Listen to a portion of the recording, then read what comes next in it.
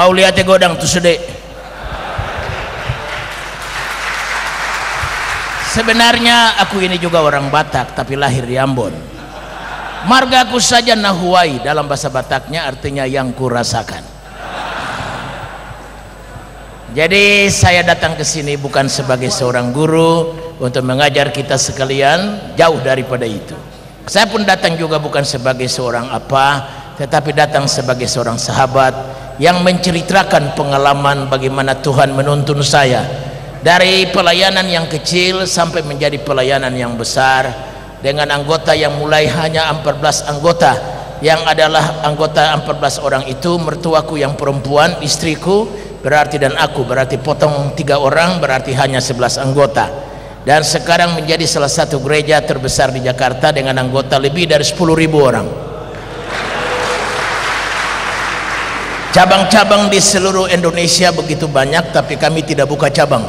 Karena kami tidak punya prinsip bahwa membuka cabang itu artinya memindahkan anggota orang lain ke anggota gereja kita. Itu bukan target karena bukan itu panggilan Tuhan bagi kita. Jadi saya tidak mau jadi duri bagi banyak pendeta dan mereka menangis karena saya berbahagia karena maju bukan begitu. Karena kami tidak buka cabang-cabang di mana-mana kami hanya membantu gereja yang memang memerlukan bantuan baik secara rohani, baik secara materi dan juga secara hal-hal lainnya demi kemajuan daripada gereja itu sendiri. Karenanya kami hanya di Jakarta saja. Kami sekarang sedang membangun gereja dengan dana 100 miliar rupiah. Gereja terbesar di Jakarta dan kami tidak pernah menjalankan les, tidak pernah adakan acara makan malam, tidak pernah bikin apa-apa, hanya berdoa saja. Cara Pantekosta lama lah yang kami tiru, yaitu berdoa saja. Makanya kalau surat tanya bapak-bapak pendeta Pantekosta dulu, Pak saya butuh dana untuk bangun gereja. Jawabannya sangat sederhana saja. Banyak berdoalah kau, katanya. Jadi kalau banyak berdoa banyak berkat, kurang berdoa kurang berkat, sedikit berdoa sedikit berkat, tidak berdoa tidak ada berkat. Haleluya. Kenapa kita mesti berdoa saja? Oleh karena berkat kita tidak dipegang oleh manusia. Berkat kita dipegang oleh Tuhan Allah yang memegang langit, bumi, lautan dan segala isinya. Karenanya meminta dan berdoa merupakan persyaratan mutlak. Jangan mencari ke kanan jangan mencari ke kiri apalagi mencari perkara-perkara di bawah. Alkitab berkata carilah perkara-perkara di atas di mana Kristus duduk di samping kanan Allah Bapa. Yohanes 1 eh, Yakobus 1 ayat 17 berkata segala perkara yang sempurna segala anugerah yang sempurna datangnya dari atas bukan datang dari bawah. Dan kata atas itu berbicara tentang satu lokasi. Bukan sekedar atas itu artinya lebih tinggi dari gunung lebih tinggi dari pohon lebih tinggi dari apa yang dikategorikan manusia tinggi. Tapi kata di atas berbicara tentang satu lokasi dan lokasi itu bernama sorga. Kata atas dalam bahasa asli Alkitabnya bernama Samayim. Samayim itu artinya the highest place tempat yang tertinggi. Ibrani 1 ayat 3 berkata setelah dia menyelesaikan pengampunan dosa maka dia kembali ke surga dan duduk di tempat yang tinggi. Tempat yang tinggi sama maknanya sama yim.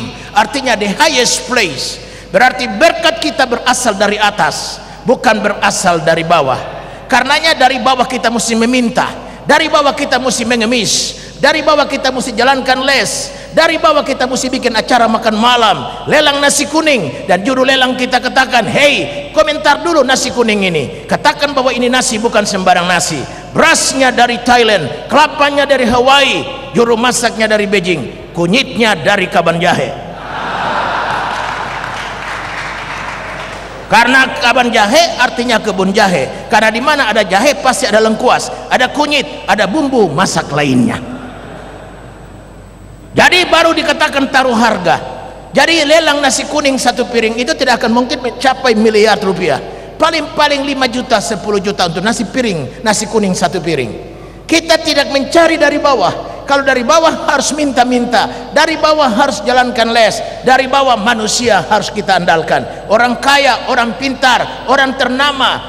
Caleg calon legislatif untuk olehnya memberikan sembako supaya dia bisa dipilih menjadi calon legislatif.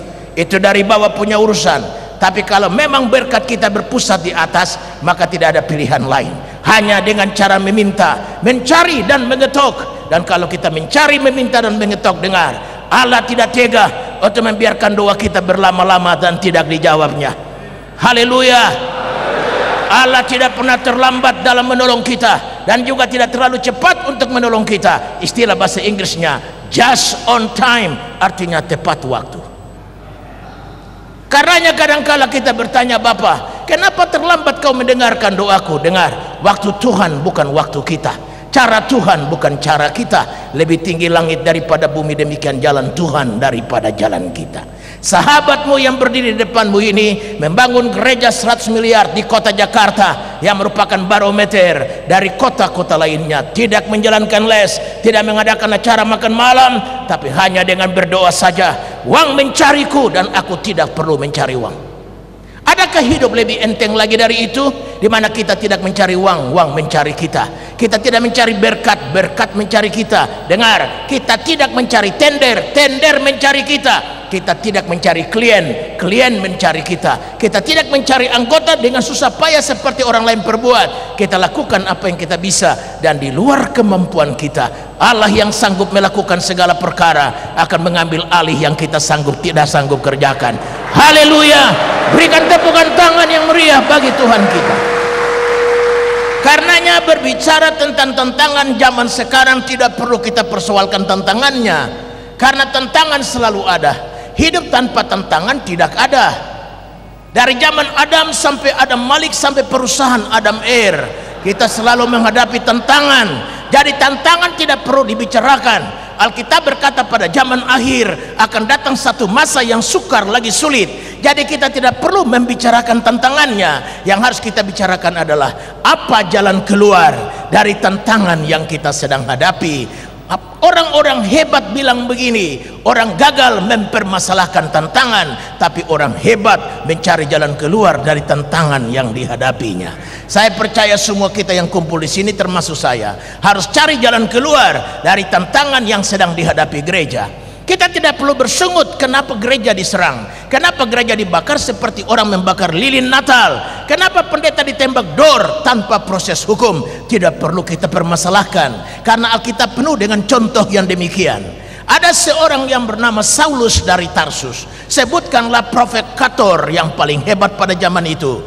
Dia pegang surat kuasa dan membakar gereja secara resmi, membunuh orang Kristen secara resmi. Seburuk-buruknya negeri ini, kita belum punya pengalaman sedahsyat itu, di mana pembakaran gereja secara resmi diumumkan oleh presiden. Belum ada negeri ini belum sampai seburuk itu. Tapi pada zaman gereja mula-mula, Saulus dari Tarsus telah pegang surat kuasa untuk secara resmi membakar gereja, secara resmi membunuh orang Kristen. Alkitab berkata Stefanus di Rajam Batu, siapa ada di sana menjadi saksi matanya? Saulus dari Tarsus.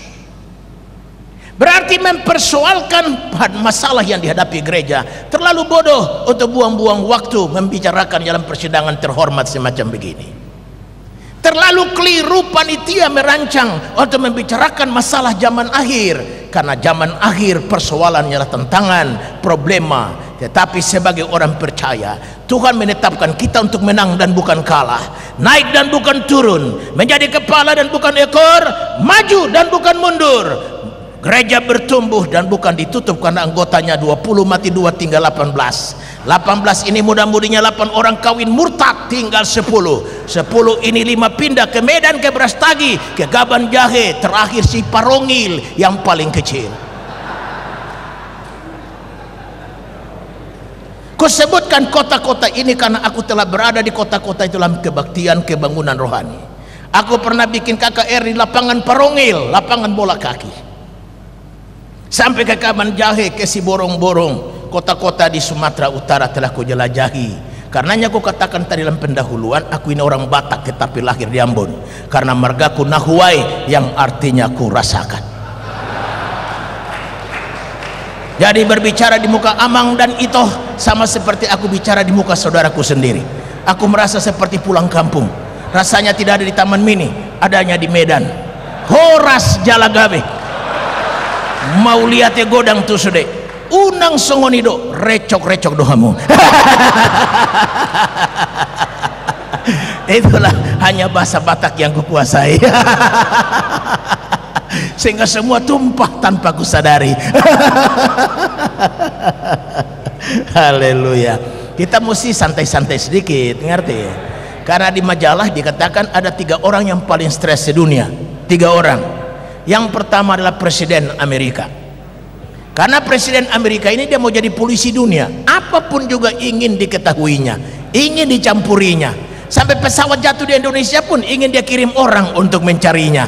Sedang kita Indonesia mah nggak pusing dengan pesawat yang jatuh. Makanya yang paling paling stres dunia adalah pertama presiden Amerika yang kedua rektor di universitas di mana orang bawa tas yang isinya kertas. Kenapa begitu? oleh karena mahasiswa ini kan pintarnya nggak karuan. Dua orang kumpul tiga pendapatnya. Coba bayangkan. Kan semestinya dua orang kumpul dua orang dua pendapat ini kan. Tapi dua kumpul tiga pendapat. Saking pintarnya mereka itu jadi perdebatanlah yang kagak karuan selalu diadakan. Karena kalau mahasiswa tidak berdebat katanya kurang pintar. Jadi harus berdebat. Walaupun berdebat yang gak karuan punya tapi dengan berdebat orang bilang hebat kawan itu. Jadi rektornya yang pusing ngurusin mereka. Karena orang kedua yang paling stres di dunia siapa namanya tuh? Rektor universitas di mana orang bawa tas yang isinya kertas yang ketiga adalah pendeta.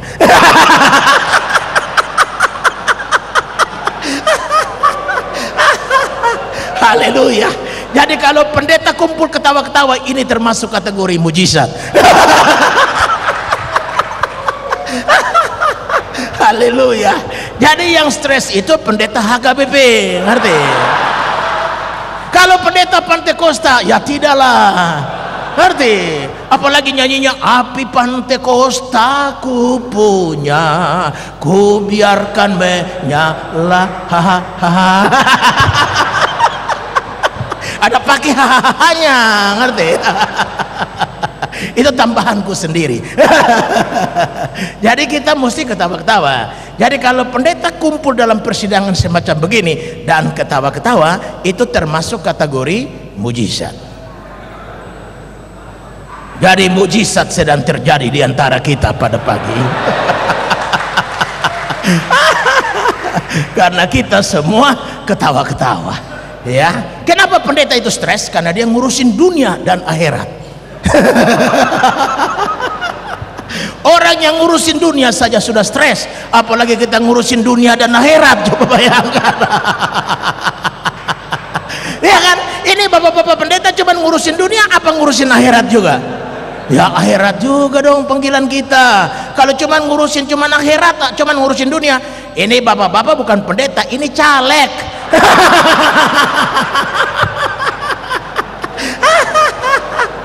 Coba lihat caleg di mana-mana, mulai dari kota, provinsi, kota ibu kota dulu, mulai dari ibu kota, kota provinsi, kota kabupaten, kota kecamatan, sampai kepada kelurahan yang paling kecil pun.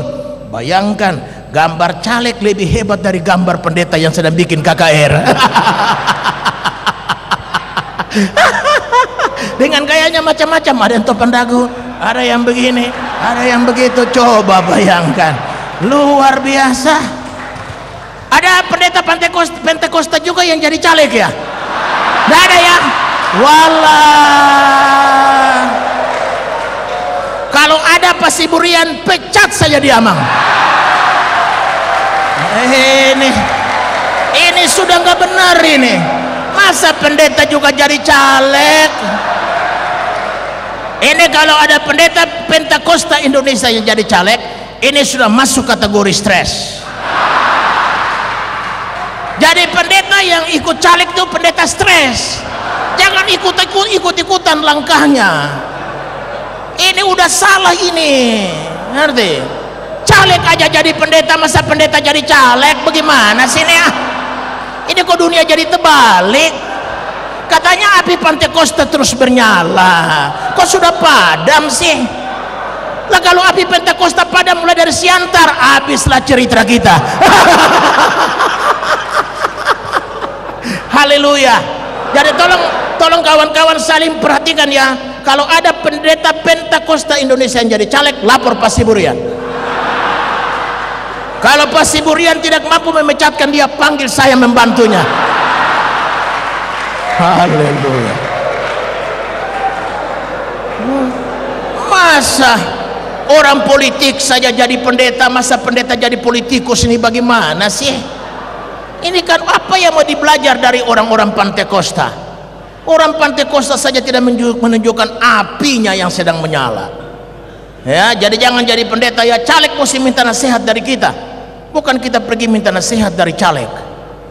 Ya karena kita pegang dunia dan akhirat. Itu yang penting. Haleluya. Coba lihat caleg punya janji-janji. Kami berpihak kepada rakyat katanya. Rakyat itu kan di dunia. Coba dibilang kami berpihak kepada Tuhan Yesus. Nah, itu sorga arti jadi pulang nih jangan pilih partai yang lain. Pilih partai PDS ya? Loh kurang. Ya kenapa pilih PDS karena sudah tidak ada lagi partai yang menyuarakan suara Kristen selain daripada PDS walaupun pemimpinnya adalah pendeta yang stres.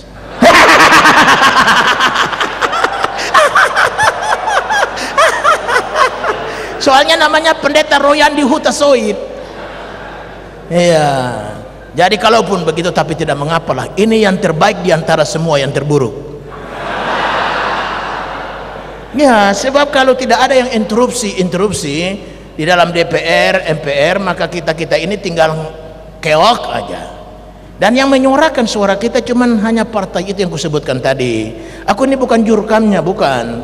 Cuma aku memikirkan nasib gereja di tengah-tengah bangsa dan tantangannya. Ini jadi kalau orang Kristen di mana-mana tuh hanya mereka cuman eh, pikir diri sendiri saya kalau dia katakanlah orang Kristen di partai A sebutkanlah begitu dia menyuarakan suara Kristen interupsi untuk kepentingan gereja nggak bisa kenapa nggak bisa oleh karena kebijakan partai dia bilang ini kebijakan partai. Kalau kau mau suarakan Kristen, pilih partai yang bernafaskan Kristen. Jangan di sini. Pilih komisi itu karena di sanalah menyuarakan suara Kristen. Jadi dia nggak bisa bersuara. Kalaupun dia bersuara dia mesti dipecat dan hilanglah gajinya 51 juta. Nah, dia terang-terangan ngomong sama gereja, apa gereja mampu bayar saya gaji 51 juta?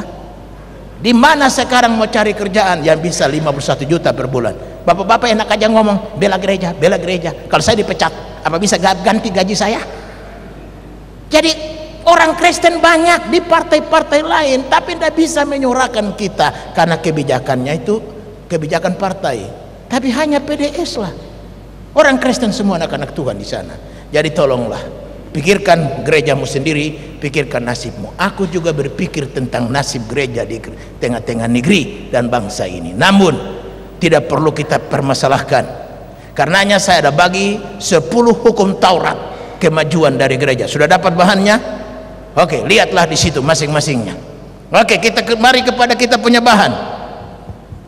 10 hukum Taurat tentang perkembangan gereja yang pertama memproklamirkan firman sebagai satu-satunya kebenaran yang dapat menjawab kebutuhan jemaat. Ada tulisannya begitu? Tidak ada ya? Mana coba kertasnya dulu? Tadi belum ada ya? Oh, belum dibagi ya? Tapi tidak mengapa, nanti akan dibagi. Jadi yang pertama memproklamirkan firman Allah sebagai satu-satunya kebenaran yang dapat menjawab kebutuhan jemaat. Jadi kita harus kembali kepada firman. Jangan firman dimanipulasikan untuk kepentingan tertentu. Sekarang ada gereja yang apa-apa minyak, apa-apa minyak urapan, apa-apa minyak urapan, sampai minyak urapan yang suci, sekarang dia sudah dimanipulir. Sehingga setan telah merubah sekarang minyak lebih penting dari Tuhan Yesus. Sehingga minyak menggeser Tuhan Yesus. Yesus paling belakang Lihatlah orang-orang yang beribadah dengan mengutamakan minyak. Maka hanya minyak yang menjadi persoalan. Mereka datang dan berebutan minyak itu. Jadi bukan berebutan mencari Yesus, berebutan mencari kemuliaannya, berebutan mencari firman-Nya. Tapi orang-orang yang menekankan tanpa minyak urapan, tidak ada kesembuhan, maka hanya minyak urapan lalu yang menjadi utama. Yesus yang terutama lalu tergeser ke belakang. Dan kalau kita menempatkan Tuhan Yesus paling belakang, inilah masalah gereja. Maka berkat menjadi kurang, kemuliaan menjadi kurang, hadiratnya menjadi kurang, kuasanya menjadi kurang karena dia tergeser oleh benda mati yang bernama minyak urapan yang dibeli dari toko minyak Bimoli. Hati-hati, kita sedang hidup pada zaman akhir. Tadi ada lagu zaman sekarang berjagalah lihat dunia bergelora kedengaran sini sana banyak kabar yang menakutkan. Berlindunglah dalam sabda Allah. Sabda Allah itulah perlindungan satu-satunya. Tidak ada lagi yang perlu ditambah dan tidak perlu lagi dikurangi dalam buku yang bernama Alkitab ini. Ini sudah sempurna tidak perlu anda menambahinya lagi. Ada hal-hal baru yang terjadi panduannya adalah ini. Ini hanya buku yang sudah komplit disahkan oleh bapak-bapak gereja dan diterima secara sah oleh gereja segala zaman. Zaman apa pun gereja itu merek apa pun dia liturgi ibadahnya pun apa angkat tangan turun tangan rentangkan tangan tepuk tangan lipat tangan dan peluk tangan maka tidak menggeser firman ini inilah firman panduan kehidupan beriman kita. Langit dan bumi boleh lenyap tetapi firman Allah tinggal tetap. Kemajuan zaman boleh berkembang tantangan-tantangannya boleh berkadar tinggi tapi dia tidak menggeser Allah dan firmannya. Yesus Kristus tetap sama kemarin hari ini dan sampai selama-lamanya. Sahabatmu ini telah melayani Tuhan 40 tahun. Sepenuh masa dua-dua tangan pegang Alkitab. Bukan tangan satu pegang Alkitab dan tangan satu pegang komputer atau laptop atau handphone. Tidak. Saya terpilih jadi ketua sinode saja baru saya beli handphone. Sampai saya pun bodoh dalam internet. Saya tidak mengerti internet. Saya tidak mengerti ambil uang dari ATM saya sangat bodoh terhadap dunia karena memang saya pendeta pantai Costa kuno biar saya bodoh untuk perkara-perkara dunia. Tidak mengapa asal saya pintar kepada perkara-perkara yang dari atas. Saya orang bersekolah. Saya sekolah sampai 9 tahun untuk mendapatkan gelar yang saya sandang. Untuk olehnya saya berdiri. Kenapa begitu? Oleh karena pendeta Pantekosta dulu dianggap sekte bidat aliran sesat tidak dipandang oleh pendeta-pendeta lain yang masuk kategori Katolik, yang masuk kategori Protestan. Hanya pendeta Pantekosta diberikan gelar pendeta haleluya. Terpeleset kulit pisang haleluya. Kebentuk kepala haleluya. Bunyi petasan dor haleluya maka saya buktikan bahwa saya bukan pendeta Pantekosta yang sekedar bunyi tapi kalaupun aku berbunyi bunyiku bermakna. Bunyiku bisa bikin orang susah menjadi terhibur menjadi orang yang tidak punya pengharapan mendapatkannya lewat bunyian yang kubunyikan. Karenanya saya bersekolah. Saya bukan saja seorang pendeta yang menggembalakan jemaat dan oleh anugerahnya. Maju tetapi saya pun penceramah. Saya berceramah di mana-mana dan saya berceramah lain daripada yang lain. Karena cara saya menyampaikannya humor yang saya miliki merupakan satu cara lain untuk memikat orang. Berjam-jam orang mendengarkan aku berceramah. Tidak bosan tidak jemu tidak ada yang mengantuk. Karena cara saya menyampaikannya. Ini saya pelajari saya tekuni saya duduk pikirkan baik-baik cara menyampaikan ceramah itu. Saya pengkhotbah televisi. Di mana-mana orang mengenal saya. Bukan saja orang Kristen mengenalku orang yang tidak mengenal Kristus pun mengenal diriku karena wajahku sering tampil di televisi yang berikut aku pengarang buku ada 19 buku yang aku karang tebal-tebal begini dan bukan sekedar karang tetapi mengarang dengan memenuhi persyaratan mengarang oleh karena mengarang buku itu ada persyaratannya. Anda mau membeli sebuah buku, Anda melihat dulu covernya yang disebut eye catching. Artinya dia menangkap mata. Dia begitu mempersona. Anda lihat langsung, eh bagus amat buku ini. Anda setelah dipegang buku itu, Anda melihat daftar isinya.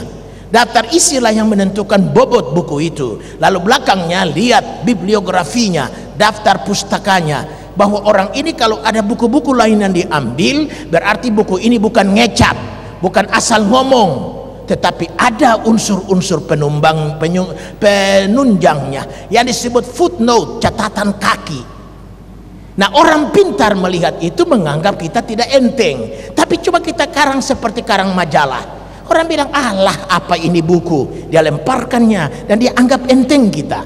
Tapi coba kalau kita karang buku. Seperti kawan-kawan protestan lainnya mengarang buku. Sampai 19 bukuku ini ada empat yang diambil Departemen Agama. Dan dicetak ribuan eksemplar. Dan dibagikan kepada semua sekolah-sekolah teologi. Baik swasta maupun pemerintah di seluruh tanah air. Saya duduk berpikir, kenapa bukan pendeta Protestan dari HKBP, dari GPIB, dari GKI, dari GPM? Kenapa pendeta Pantekosta yang dianggap bidatan sekte? Karena aku sudah bisa mengangkat harga diri pendeta Pantekosta. Supaya orang tidak menganggap kita orang kecil, orang yang asal haleluya. Tapi kalaupun haleluya keluar dari mulut kita, haleluya kita bermakna punya bobot. Saya pikir kalau Departemen Agama sampai cetak empat bukuku berarti negara yang mencetaknya. Karena Departemen Agama itu bagian dari negara. Coba saya pikir-pikir siapa saya. Empat bukuku dikarang ambil dan dikarang dicetak. Beribu-ribu eksemplar. Dan dibagi kepada semua sekolah teologi yang ada di tanah air negeri kita ini saya katakan begini bukan untuk menyombongkan diri. Untungnya apa buat saya?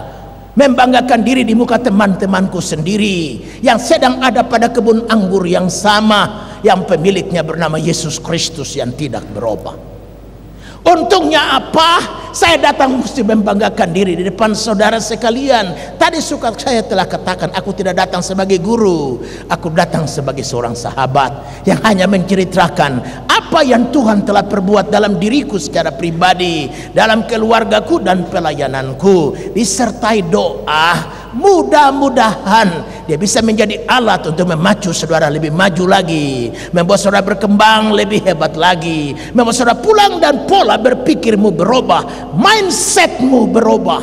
Kau tidak berpikir seperti orang gagal tidak berpikir seperti orang biasa tapi berpikir seperti Kristus berpikir di mana Rasul Paulus berkata tetapi kami memiliki pikiran Kristus Itulah tujuannya. Jadi firman tidak boleh dicampur aduk dengan yang lain. Gereja kuat, gereja lahir karena firman. Gereja bertumbuh karena firman. Diadakan penyelidikan di gereja-gereja di seluruh Amerika Utara. Mulai dari gereja yang kecil, gereja sedang, gereja besar dan amat besar. Maka didapatkanlah empat rahasia mengapa orang datang ke gereja atau apa yang membuat gereja bertumbuh. Yang pertama, adalah letaknya gedung gereja yang strategis. Saya percaya semua kita masih punya gereja yang masuk gang keluar gang. Betul. Tapi jangan sampai mati gereja di belakang gang. Usahakan supaya keluar di muka gang. Karena gereja yang strategis menentukan kemajuannya. Jangan orang bertanya kepada kita minta maaf Bapak Pendeta Silalahi, Bapak punya gereja di mana? Lalu dengan bangga busung dada ke depan dan berkata begini, Gereja Bapak Pendeta gang langgar masuk 100 meter, gang pertama belok kiri, gang kedua belok kanan, nyebrang kali, lompat pagar di bawah pohon pisang. Bayangkanlah ada nyebrang kali segala dan lompat pagar. Ampun, orang bisa berpikir jangan-jangan ini bukan gereja, ini gubuk liar. Mendengarkan alamat gereja Bapak saja kami sudah pusing, apalagi masuk ke dalamnya bisa semaput. Tahu semaput, pingsan. Tapi coba kalau orang bertanya kepada pendeta Silalahi, Bapak pendeta Silalahi, Horas, Horas. Gereja Bapak di mana? Lalu kita bilang berhadap-hadapan dengan kantor gubernur. Siapa tidak tahu kantor gubernur? Dia pernah menjadi caleg dan demonstrasi di situ.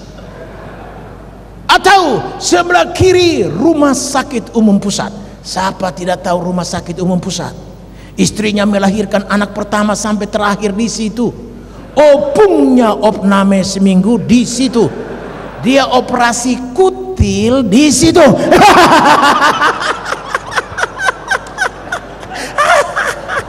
Haleluya. Jadi rumah sakit umum pusat semua tahu. Cari rumah sakit umum pusat sebelahnya adalah gereja Bapak. Tapi Pak Pendeta enaknya ngomong aja, enaknya. Le, sorga tuh hanya gampang saja sorga memberi jawaban. Termas tergantung permohonan yang disampaikan dari bumi. Permohonan dari bumi disampaikan Tuhan, berikan saya ruko. Maka rukolah yang kau dapatkan. Kenapa paduannya mesti ruko? Emang gak ada cara lain? Kenapa kau tidak berdoa berikan saya gereja? Kok imannya iman ruko? Sorga tidak bisa berbuat banyak. Minta ruko dapat ruko, minta batu dapat batu, minta roti dapat roti, minta ikan dapat ikan, minta ular dapat ular, minta telur dapat telur, minta kala jengking dapat kala jengking. Tuhan Yesus berkata mintalah maka kepadamu akan diberi berarti sorga hanya berbuat tergantung permohonan yang dimasukkan dari bumi Rasul Paulus berkata jangan khawatir barang apa pun tetapi sampaikanlah keinginanmu kepada Allah dalam doa, permohonan dan ucapan syukur. Berarti cuman keinginan doang kok yang disampaikan. Susah apa? Bapak-bapak ini punya keinginan apa tidak sih? Atau cuman keinginannya biar miskin di sini asal kaya di sorga. Lah kalau tunggu kaya di sorga, kan bagaimana kita bisa penuhi firman? Dikala kau aku lapar, kau beri aku makan. Dikala aku haus, kau beri aku minum. Dikala aku telanjang, kau berikan aku baju. Dikala aku menjadi orang keluaran, kau menyambut aku di rumahmu. Pasti kita protes, Tuhan enak aja ngomong. Aku aja miskin, bagaimana mau kasih makan orang lapar? Tuhan balik nanya, ya suruh kau miskin tuh siapa? Yang suruh kau tidak punya baju itu siapa?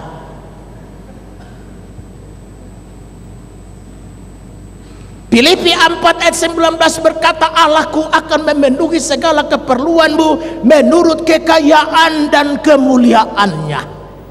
Allah tidak beracara dengan kita berdasarkan kemiskinan dunia.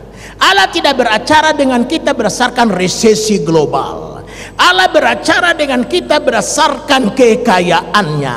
Tahukah kita bahwa yang panggil kita ini orang kaya? Tahukah kita yang kita layani ini orang kaya? Tahukah kita bahwa kita sedang berkumpul bersama ini demi kepentingan seorang yang berkata di mana dua tiga berkumpul dalam nama koku ada dan orang itu bernama orang kaya. Begitu hebat kekayaannya Yesus Kristus sehingga bank dunia tidak sanggup menampung uangnya sampai ikan di Danau Galilea pun ikut berpartisipasi untuk menampungnya. Satu waktu orang Parisi bertanya, "Apa kau bayar pajak?" Oh Tuhan Yesus berkata, "Tentu. Perlihatkan padaku gambar apa yang ada pada koin itu." Mereka berkata, "Gambar kaisar." Berikan kepada kaisar apa yang kaisar punya dan berikan kepada Allah apa yang Allah punya. Lalu dia bilang sama Petrus Petrus pergi ke Danau Toba. Eh salah ya. Bukan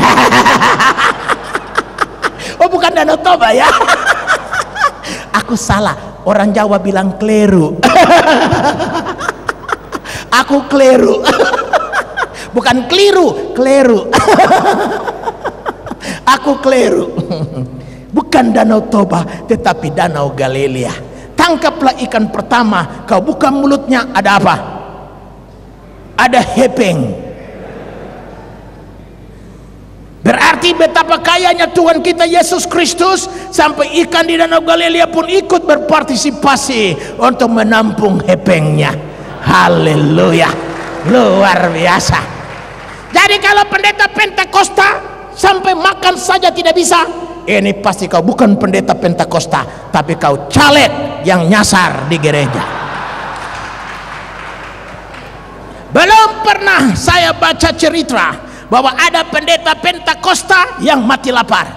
Tapi pendeta Pentakosta mati karena kebanyakan makan. Haleluya. Karena darah tinggi kencing manis kencing pahit darah rendah. Yang bunuh pendeta karena kebanyakan makan. Berarti Allah yang kita sembah dahsyat. Dia beracara dengan kita berdasarkan kekayaannya. Haleluya. Jadi kalau bapak-bapak ini melayani Tuhan Yesus bisa bangun gereja enggak dah astaga aminnya kok tiga orang. Yang lain mikir-mikir dulu Saya mau balik bertanya, bapak-bapak gereja Pentakosta Indonesia yang kantor sinodenya berkedudukan di Pematang Siantar, Sumatera Utara, Indonesia, Asia Tenggara ini kira-kira bisa bangun gereja yang dananya miliar rupiah bisa nggak? Contohnya lagi berdiri di depan saudara bangun gereja 100 miliar tidak pernah minta Yohanes 3 ayat 35 bilang begini Bapa mengasihi anak dan telah menyerahkan segala sesuatu kepadanya. Berarti segala sesuatu yang kuperlukan bagi diriku pribadi, bagi keluargaku, bagi masa depan anak-anakku sampai mereka sekolah di universitas, di mana mereka bawa tas isinya kertas dan segala keperluan dari gereja yang olehnya dia suruh aku membangunnya, maka semua biayanya itu bukan berada pada tangan orang kaya, tidak berada pada tangan si A dan si B, tapi berada pada tangan seorang yang bernama Yesus Kristus yang ribuan tahun yang lampau waktu dunia belum diciptakan Bapa telah menyerahkan keperluan itu ke dalam tangan seorang yang bernama Yesus. Karenanya jika aku meminta kepada orang lain itu pelecehan-pelecehan kepada yang pegang berkatku. Kalau aku pergi menjalankan les, maka itu pelecehan terhadap Yesus Kristus yang memegang berkatku. Lalu pada siapa aku harus meminta? Hanya pada dia sajalah aku mengadu. Karenanya doa sudah penting betul. Karenanya banyak berdoa, banyak berkat. Kurang berdoa, kurang berkat. Tidak berdoa, tidak ada berkat. Karenanya cuma doa puasalah. Tergantung kepada firman. Hidup kita tergantung pada firman. Kita tidak hidup dari lain. Pendeta Pentakosta tidak hidup daripada lain. Dia tidak perlu pergi bertanam, bercocok tanam, tanam jeruk di kaban jahe dan ikut menjualnya di pasar bersama rentetan anggota gerejanya. Tidak perlu. Pendeta Pentakosta harus pikir firman. Dia hidup dari firman yang dia beritakan. Berarti mulut kita menentukan jas kita. Mulut kita menentukan kualitas dasi yang lengket di leher kita. Mulut kita menentukan hak tinggi. Yang dipakai bini kita pergi ke gereja ikut kor.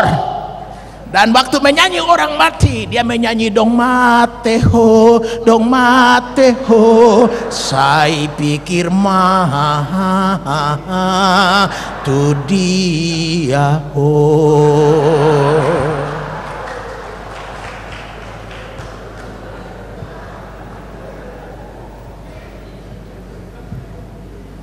Dia menyanyi dan menanyakan pertanyaan, kalau mati ini ke mana ya? Jadi biniku pakai sendal lepit atau hak tinggi tergantung kualitas khotbah yang kusampaikan.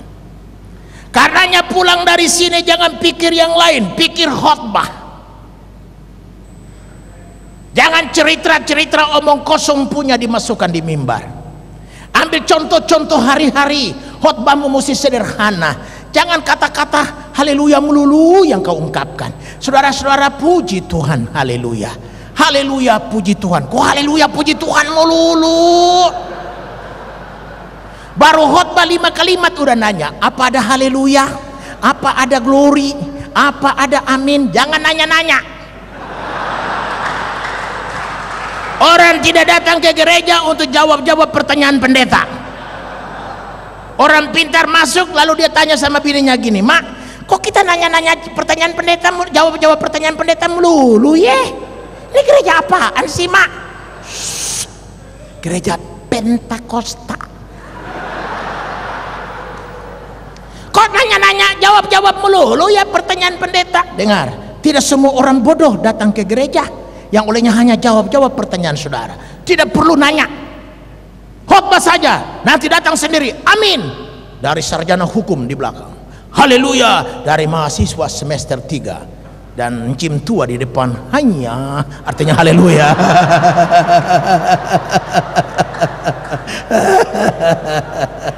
Si encim tua tidak bisa berbahasa Indonesia. Dia cuma hanya. Artinya haleluya juga artinya haleluya cara sinjim. Itu baru khotbahmu begini. Haleluya. Jadi jangan nanya-nanya ya amang pulang dari sini khotbah saja. Nanti amin dengan sendirinya. Sebab kalau kau tanya-tanya amin nanti amin itu terpaksa. Dan setiap bentuk terpaksa tidak datang kepada Tuhan tapi datang kepada pendeta perlindungan silalahi Haleluya. Ya. Jadi jangan nanya-nanya ya. Jangan pakai kata-kata ada amin saudaraku, ada haleluya. Saudaraku, haleluya. Puji Tuhan saudaraku. Hari ini saudaraku, pembacaan firman saudaraku. Yohanes 3:16 saudaraku. Jangan pakai saudaraku melulu. ngomong yang betul pendeta itu mesti lebih hebat dari juru kampanye haleluya bilang sama Tuhan Allah jama bibirku dengan api dari sorga jika kau tidak mau jamah aku de dengan api dari sorga panggil aku pulang. Nyempit nyempitin bumi. Tantang Tuhan. Tuhan itu senang ditantang. Dan kalau kau berani menantang Tuhan Tuhan akan buka jalan. Allah itu senang ditantang. Makanya dia bilang jadilah seperti seorang laki-laki. Laki-laki itu kan tantang orang. Mau apa lu? Lihat-lihat mataku. Aku copot matamu. Sini Oh, itu laki-laki. Tapi kalau perempuan udah pak, jangan pak. Ingat anak-anak di rumah pak. Nanti kalau kamu mati, nanti aku jadi janda, jangan begitulah pak.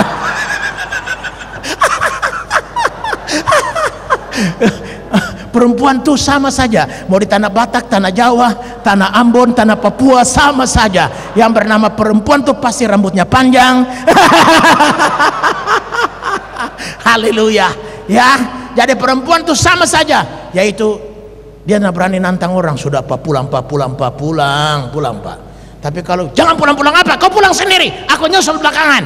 Aku mau hajar dia dulu. Tuh itu laki-laki Tuhan mau kita begitu ya? Jadi sama Tuhan Allah tantang Tuhan pokoknya aku nggak mau ngerti. Aku beri batas waktu sama kau. Lima tahun ke depan gereja sudah mesti berdiri. Aku tidak mau tahu dari mana datangnya dana itu kau yang mengadakannya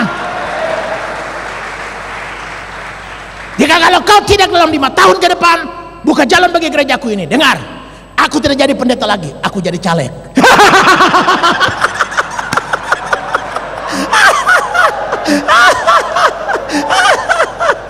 Haleluya. Wow. Tuhan Allah bilang, luar biasa ya.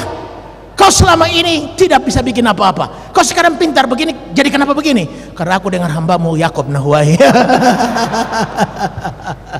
Harus begitu ya Amang ya. Pulang dari sini, kerjakan perkara besar bagi Tuhan Allah. Ya, ngomong yang betul. Jangan dikit-dikit saudaraku, saudaraku. Apalagi susudaraku.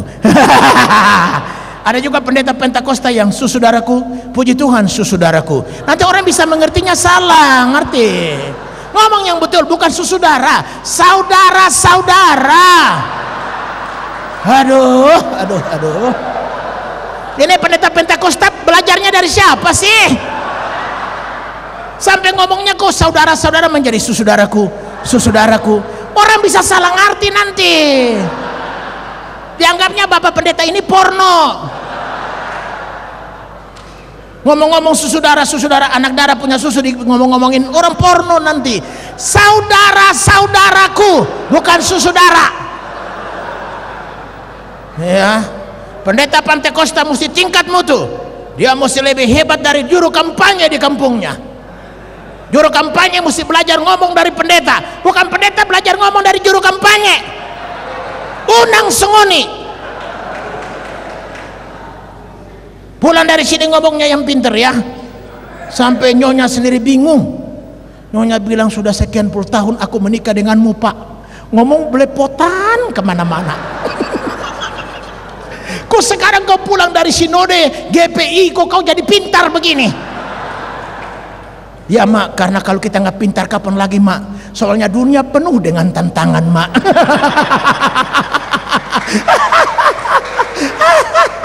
Haleluya. Jadi ngomongnya yang betul ya Bapak-bapak. Haleluya.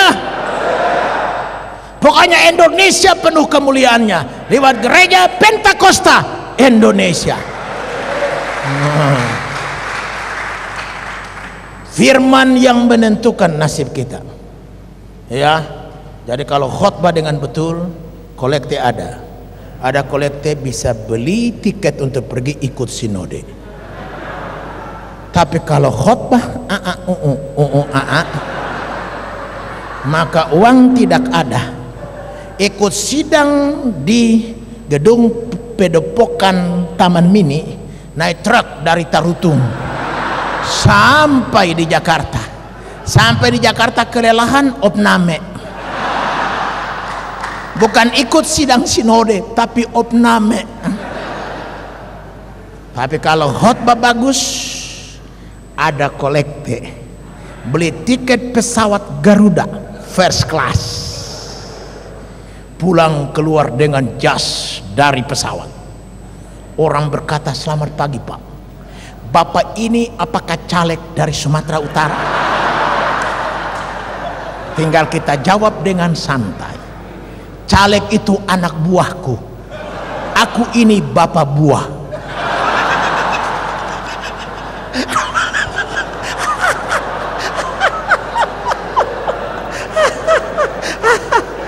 Aku ini bapak buah, sedang bapak segala bapak ada di atas. Wah, begitu ya. Jadi pulang dari sini mimpi besar, kerjakan perkara besar. Dan pada waktu kita ngomong begitu, dengar, tantangan yang paling pertama adalah istri kita. Istri kita pak, udahlah yang mimpi besar-besar Udah 20 tahun aku menikah dengan kau.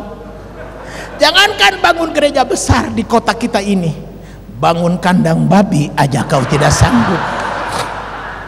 Sampai babi kita berkeliaran ke kebun-kebun orang.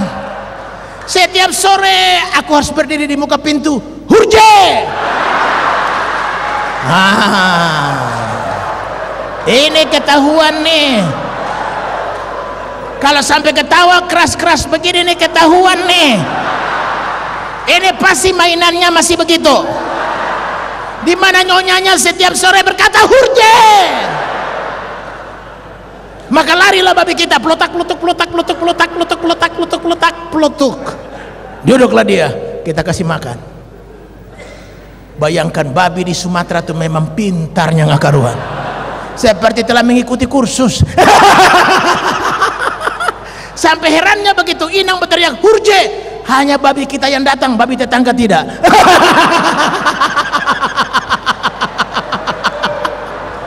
Sebab kalau babi tetangga juga ikut, kita cari persoalan. Makanya enak kalau kita ngomong di muka sama-sama orang Batak begini, enak ya.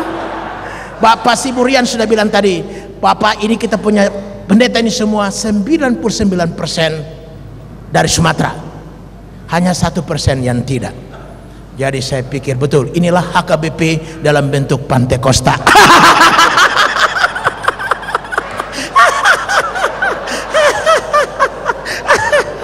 inilah Huria Kristen Batak Protestan dalam bentuk Pentakosta. Haleluya. Luar biasa dah. Jadi kita girang-girang dulu ya karena girang-girang itu nyanyian Pantai Costa jadi khotbah dengan betul pulang dari sini ya karena khutbah kita menentukan nasib kita. Pendeta yang tidak pikirkan khutbahnya ada pada tunggu tanggal matinya.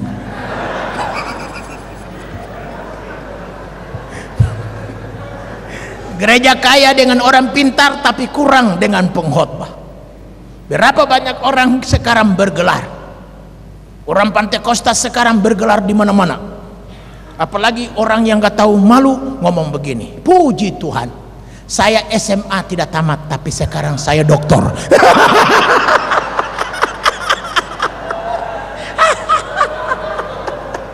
Dia kira doktor itu adalah urusan tumpang tangan.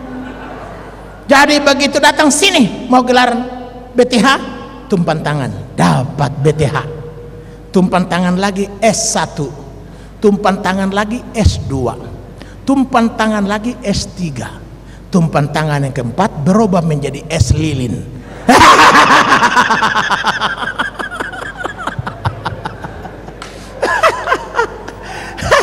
Gereja kaya dengan orang bergelar tapi miskin dengan pengkhotbah. Jadi bapak-bapak nih kalau biar gerejanya di ujung langit tapi kalau khotbah begini di gereja kami yang ikut kebaktian adalah khotbah si tumpul dan Luhut Situmpu duduk bangku paling muka dan dengar khutbah. Khutbah Situmpul bilang begini saya telah keliling Jakarta ini untuk cari gereja yang pas. Tapi saya tidak menemukannya karena roh kritik saya berkadar tinggi. Karena saya ini pengacara. Roh kritik saya berkadar tinggi tapi begitu masuk di gereja Bapak roh kritik saya keok. Karena khutbah dengan hadirnya Luhut Sitompul dan Khotmah Sitompul banyak orang tapanuli menjadi anggota gereja kamu di antara tujuh orang lima orang pasti orang Batak yang dua orang lain. Sampai kita punya gereja berubah nama gereja BCA artinya apa? Batak anggotanya Cina majelisnya Ambon pendetanya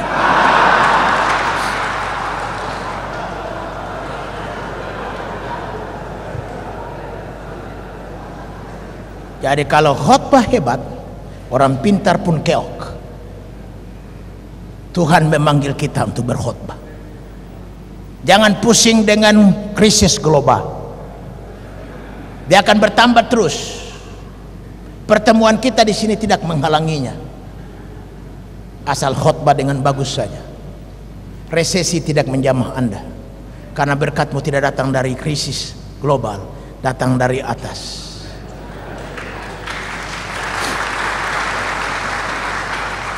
dan kalau datang dari atas maka saya kehilangan makan pagi dan kehilangan makan siang. Yang saya makan cuman makan malam. Dapatkah rumah tangga dipertahankan dengan cuman makan sehari sekali? Biar kita marbakak seperti Elvis Presley sekalipun.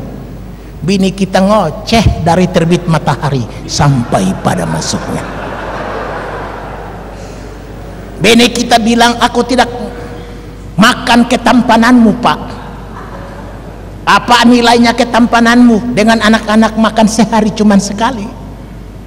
Apa nilainya ketampananmu dengan aku istrimu yang kau ambil dengan terhormat dari tangan ibu dan bapakku dan makan cuman sehari sekali? Pasti ribut terus.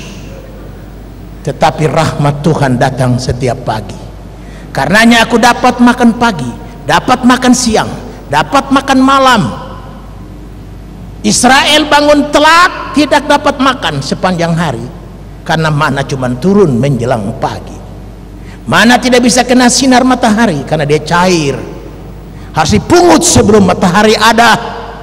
Jadi andai kata bangsa Israel berkata malas ah nggak mau bangun ah berarti kehilangan makan pada hari itu karena tidak bisa diambil untuk makanan hari berikutnya busuk.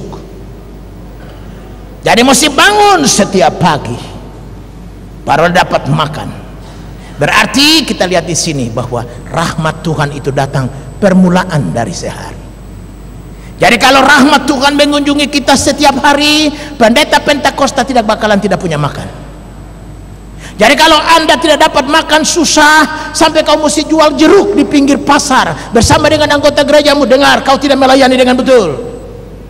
Kau tidak pikir khotbahmu Kau cuma kata orang Jawa merono, merene, mangan. Wis mangan, turu. Wis turu, merono, merene.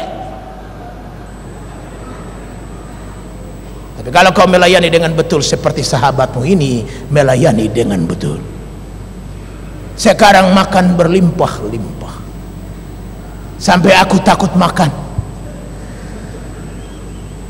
mau makan apa saja sekarang tinggal tepuk tiga tangan tiga kali. Pelayan dari kanan dari kiri jongkok di depan dan berkata mau apa pak pendeta? Mobil sekian banyak bus sekian banyak. Fasilitas gereja begitu luar biasa.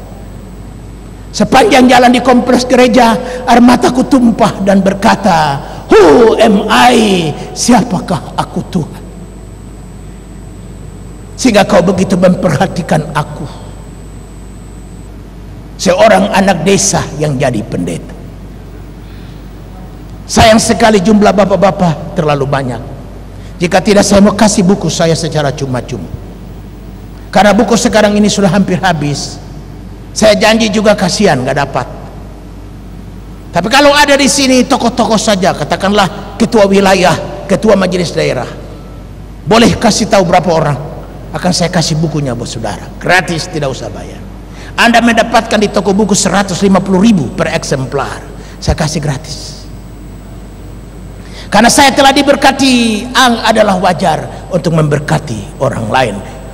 Berilah maka kepadamu akan diberi. Karenanya marilah kita pikirkan khutbah kita. Karena khutbah kita menghidupi diri kita sendiri. Jangan pikir yang lain. Hal yang kedua yang perlu kita pikirkan ialah menyembah Allah setiap minggu dalam roh dan kebenaran. Saya lihat bahwa gereja-gereja sekarang ini penyembahannya begitu luar biasa. Banyak orang yang merasa hadirat Allah dalam lagu yang dinyanyikan.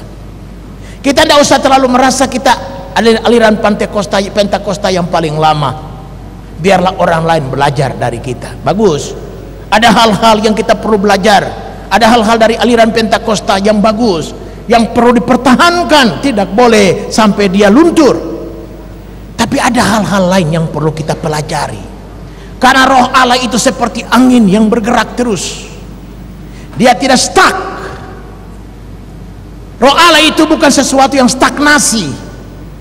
Tapi dia seperti angin. Makanya roh kudus itu diumpamakan seperti angin.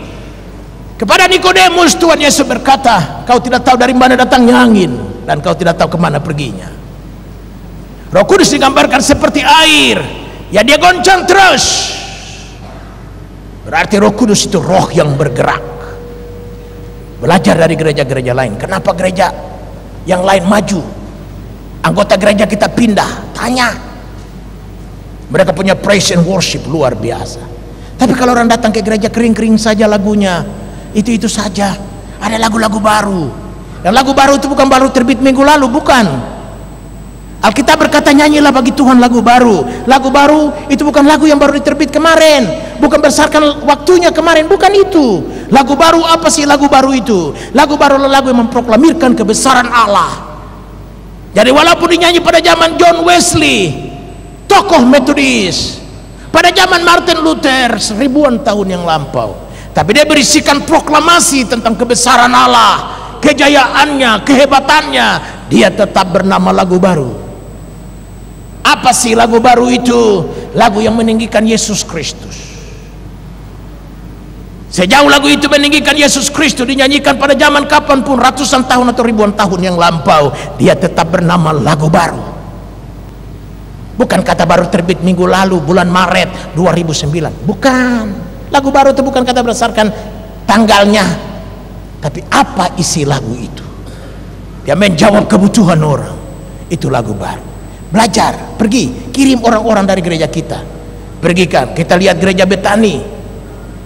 Ambil ambil anggota orang. Jangan tiru yang salahnya. Tapi kenapa mereka maju? Kenapa praise and worshipnya begitu hebat? Belajar kirim orang ke sana.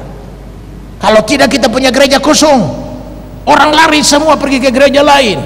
Jangan rasa saya kan aliran Pentakosta. Saya lama jangan. Apa yang baik yang bisa kita ambil supaya Kristus semakin dibesarkan di dalam pelayanan kita? Kita belajar. Kalau ada hal itu di luar negeri pergi. Jual sapi ongkos pergi sana lihat. Kalau ada lagi di luar angkasa oke okay, pergi ke sana. Ke NASA. Bilang saya pendeta dari Indonesia pingin numpang ke luar angkasa. Pasti dikasih jangan cuma duduk dan bilang saya ini pentakosta lama saya ini pentakosta lama. Betul organisasinya. Tapi pelayanannya gimana? Ini tantangannya nih pada zaman akhir nih. Orang semakin maju. Orang nggak bisa lagi bilang eh kalau pindah gereja ya? Dulu bapakmu diberkati nikahnya di sini. Kau lahir diserahkan di sini kau begitu dari nggak jadi apa-apa sekarang maju di sini. Ayo balik. Sudah nggak bisa lagi. Dulu iya. Sudah tetap melayani gitu-gitu saja anggota pada lari semua. Zaman sekarang beda. Kita bangun gereja mesti pikirkan lokasi parkirnya. Kita doa Tuhan berkati anggota gereja kami diberkati. Dulu jalan kaki sekarang punya mobil. Dia ke gereja mesti bawa mobil. Lokasi parkirnya nggak ada sementara berbakti dia pikir-pikir aduh mobilnya dirusakin orang enggak mobilku dirusakin orang enggak mobilku dirusakin orang enggak dia nyanyi mulutnya nyanyi tapi hatinya aduh mobil gimana ya? Mobil gimana ya? Dia pergi ke gereja. Yang lokasi parkirnya ada. Masuklah dia di HKBP lokasi parkirnya lebih luas.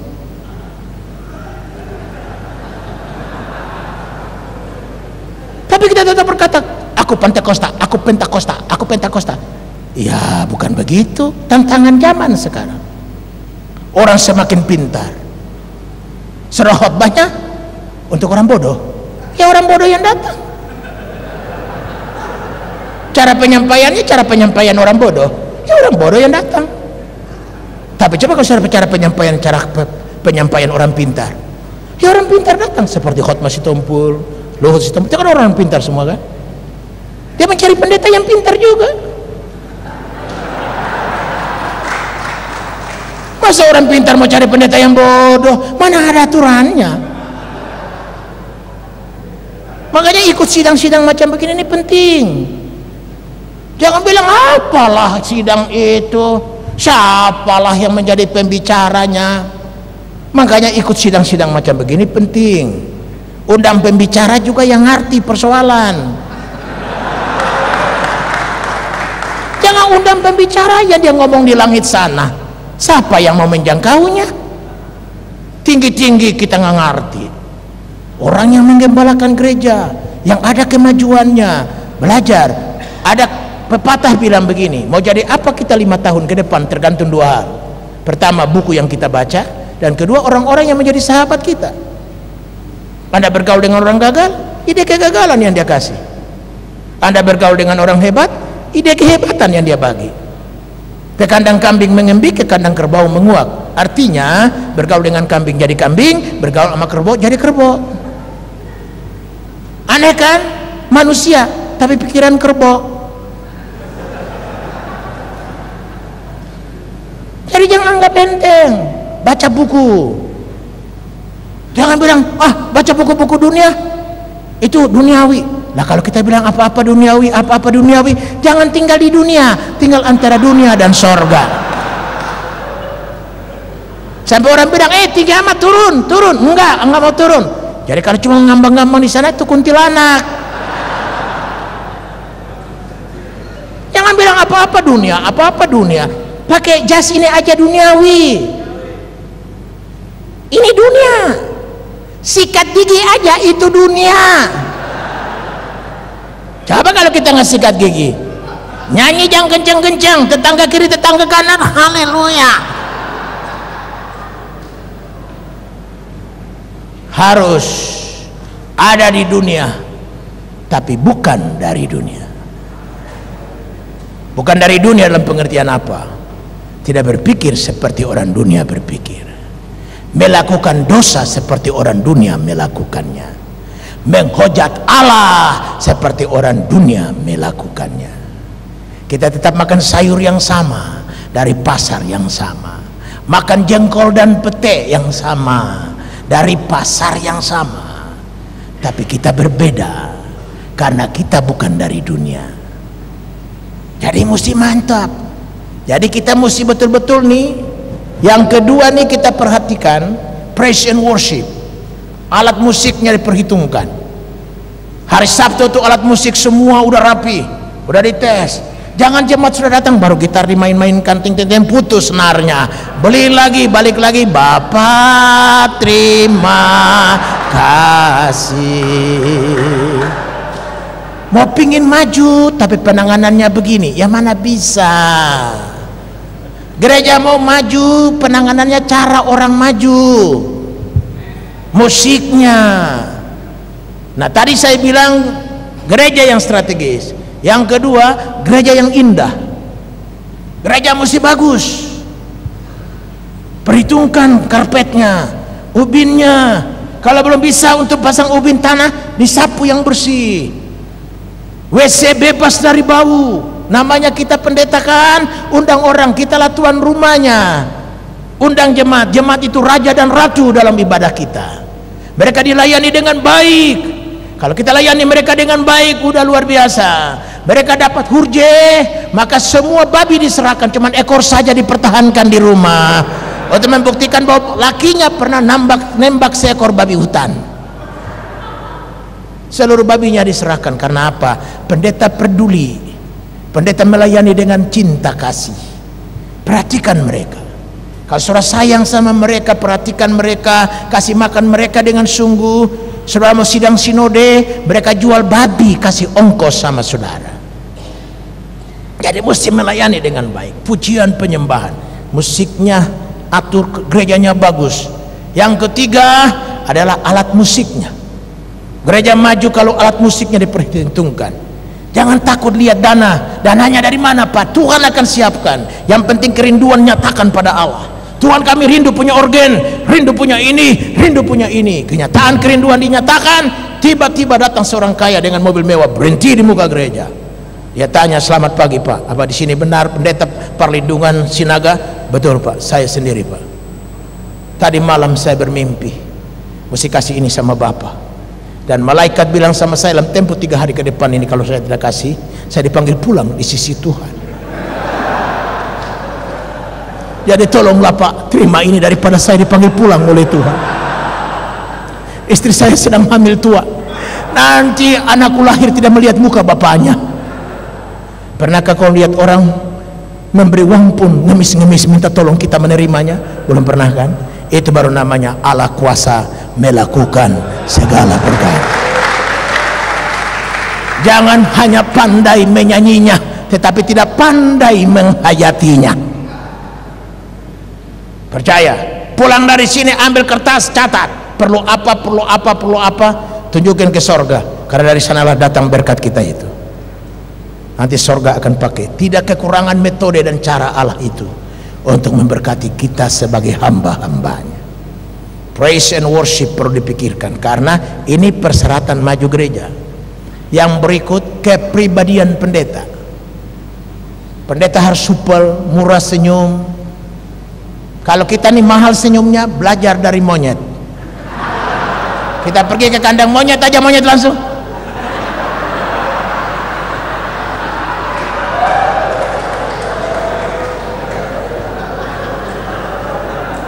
Jadi orang yang malas gurunya adalah semut. Orang yang senyumnya mahal gurunya adalah monyet. Bodat. Bodat itu monyet kecil. Jadi kalau kita cari pendeta mahal senyumnya jangan jadi pendeta. Jadi preman Medan. Sebab preman tidak boleh senyum. Saya kalau preman senyum itu bukan preman, itu pendeta jadi pendeta Pentakosta yang penuh roh api yang bernyala-nyala mesti murah senyum. Coba senyum dulu rame-rame. Haleluya. Ya murah senyum walaupun gigi tidak rata. Walaupun gigi ompong dua. Haleluya. Ya jadi kita mesti mantap pulang dari sini ya. Luar biasa. Dan yang terakhir gereja maju kalau khotbah begini itu penyelidikan di Amerika. Jadi di sini saya katakan praise and worship itu hal yang luar biasa. Kirim orang-orang atau bapak-bapak sendiri pergi ke gereja. Duduk pelan-pelan di belakang lihat mereka bagaimana menyanyi. Mereka pilih orang-orang. Orang Batak, orang Ambon, orang Papua kan suaranya bagus-bagus. Apalagi kalau ada urapan angkat. Aduh hadirat Allah terasa. Firman masuk mah gampang. Kalau pujian itu membuka hati orang yang ketiga hukum Taurat yang ketiga mengembangkan pelayanan yang berpusat pada Yesus Kristus.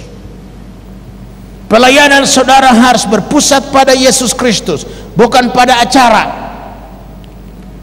Banyak kali kita pikir acara yang bagus begini begitu begini begitu ini belum tentu.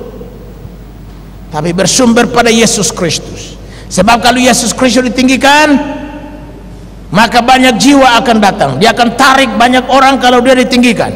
Kenapa? karena meninggikan Yesus Kristus merupakan target Allah Bapa. Filipi 3 mulai ayat 5 dia yang adalah Allah tidak menganggap kesetaraannya dengan Allah sebagai milik yang perlu dipertahankan. Tapi menghampakan dirinya menjadi sama dan mengambil rupa seorang hamba dan taat sampai mati di kayu salib. Nah kalimat berikut itu sebabnya. Allah sangat meninggikan dia dengar. Allah sangat meninggikan dia dengar. Allah sangat meninggikan dia. Dan mengaruniakan kepadanya nama di atas segala nama. Supaya dalam nama itu bertekuk lututlah segala yang di surga dan di bumi dan mengaku semua lidah bahwa Yesus Kristus adalah Tuhan berarti Filipi 2 ini membicarakan target Bapa adalah meninggikan Yesus Kristus. Meninggikan Yesus Kristus adalah kerinduan Yesus sendiri. Karenanya Yohanes 17 ayat 1 berkata maka menengadalah dia dan berdoa Bapa permuliakanlah aku supaya aku dapat mempermuliakan engkau ayat 5 Yohanes 17 permuliakanlah aku dengan kemuliaan yang pernah aku miliki sebelum dunia ada Berarti sebelum ada bunga, sebelum ada burung-burung berterbangan di udara, sebelum ada ikan teri medan sampai ikan paus yang paling besar berada di lautan, maka telah ada satu mendahului semua itu dan itu adalah kemuliaan Yesus Kristus. Berarti kemuliaan Yesus Kristus merupakan kerinduannya. Roh Kudus punya punya tujuan. Yohanes pasalnya yang ke-14 ayat 16 ayat 14. Yohanes 16 ayat 14 kalau dia datang dia akan memuliakan aku. Berarti target Roh Kudus Roh Pentakosta bukan memuliakan seorang ketua, bukan memuliakan seorang pengkhotbah, bukan memuliakan seorang yang kaya. Tujuan Roh Kudus datang di dunia ini hanya meninggikan dan memuliakan Yesus. Berarti kalau kita punya pelayanan bersumber pada Yesus Kristus, tiga oknum, Bapa, Anak dan Roh Kudus menyatu dan berdiri di belakang kita, di depan kita, sisi kanan dan sisi kiri dan mengitari kita dengan kuat kuasanya dan permisinannya. Orang apakah yang bisa dikalahkan? Kalau Allah beserta dengannya, ketelanjangan tidak bisa, peperangan tidak bisa, bah marah bahaya tidak bisa memisahkan orang yang olehnya Allah menyertainya. Saya rindu Allah menyertai pelayananku. Karena penyertaan Allah itu modal bagus. Karena di mana dia ada air berubah menjadi anggur yang sakit disembuhkan. Buta melihat tuli mendengar dan timpang berjalan betul dan si kusta ditahirkan. Yang tidak ada menjadi ada dan yang ada diperlipat-lipat gandakannya. Kalau Allah menyertai kita. Saya kira semua kita merindukan itu. Haleluya. Karena itu tinggikan Yesus jangan tinggikan minyak urapan. Jangan tinggikan perjamuan suci. Itu cuma sakramen alat. Untuk mendorong kita lebih dekat kepadanya. Dorong kita untuk mengasihi dia lebih daripada yang lain. Bukan dia menjadi satu-satunya sayang sekali. Ada gereja yang pendetanya pemimpinnya bilang saya baru saja turun dari sorga. Tiap hari turun dari sorga Tuhan kita yang begini dahsyat aja sekali naik belum turun-turun. Kok ini pendeta canggih amat turun naik sorga tiap hari? Sedangkan kitab Ayub berkata yang turun naik turun naik sorga itu siapa? Simbolis. Simbolis lah yang turun naik sorga tiap hari ya kan? Apa kalimatnya? Alkitab berkata dalam kitab Wahyu ada pertemuan anak-anak Allah dan simbolis ada di situ. Dia hadir tanpa undangan resmi. Dia hadir tanpa pakai papan nama. Lah bayangkan untuk mengikuti sidang sinode dari GPI aja mesti pakai papan nama. Setan masuk tanpa papan nama di sorga. Karena dia hadir tanpa undangan kan? Allah marah lihat dia. Hei simbolis dari mana saja kau? Dia bilang aku baru saja beredar-edar di bumi. Yang kata bahasa Jawa tadi itu merono mrene.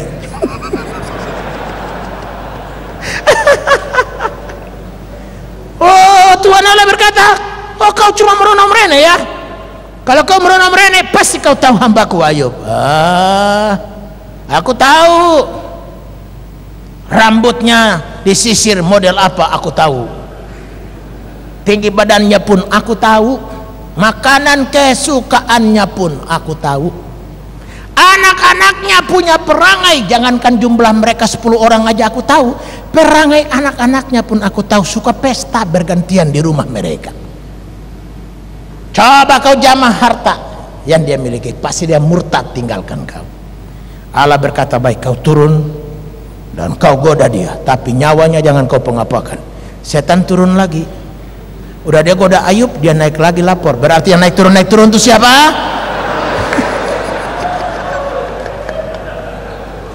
Jadi kalau ada pendeta Pentakosta Indonesia yang bilang baru turun dari sorga itu dia kaki tangannya simbolis bukan kaki tangannya Yesus Kristus. Karena kalau Tuhan kita Yesus Kristus sekali naik aja belum turun-turun tapi ini pendeta canggih. Naik turun sorga tiap hari. Lebih canggih dari Tuhan kita Yesus Kristus. Dan kalau orang yang mengakui diri lebih canggih dari Tuhan Yesus pasti itu simbolis. Setan dia. Ha, ya kan? Ayo. Jadi kita lihat di sini liturgi kita ibadah kita mesti meninggikan Yesus Kristus. Oke waktu kita sekarang menunjukkan jam 12 lewat 4 menit. Saya bicara terus sampai jam 1 ya. Ini perlu nanya apa enggak? Terus saja ya. Haleluya. Nah saya mau kasih tahu satu lagi nih. Saya ini lagi buka Institut Pertumbuhan Gereja Mawar Saron mendidik gembala sidang yang tidak maju gerejanya di training 4 bulan. Makan gratis tidur gratis semua gratis. Pokoknya datang kurus pulang tambun. Dan merubah nama menjadi tambunan.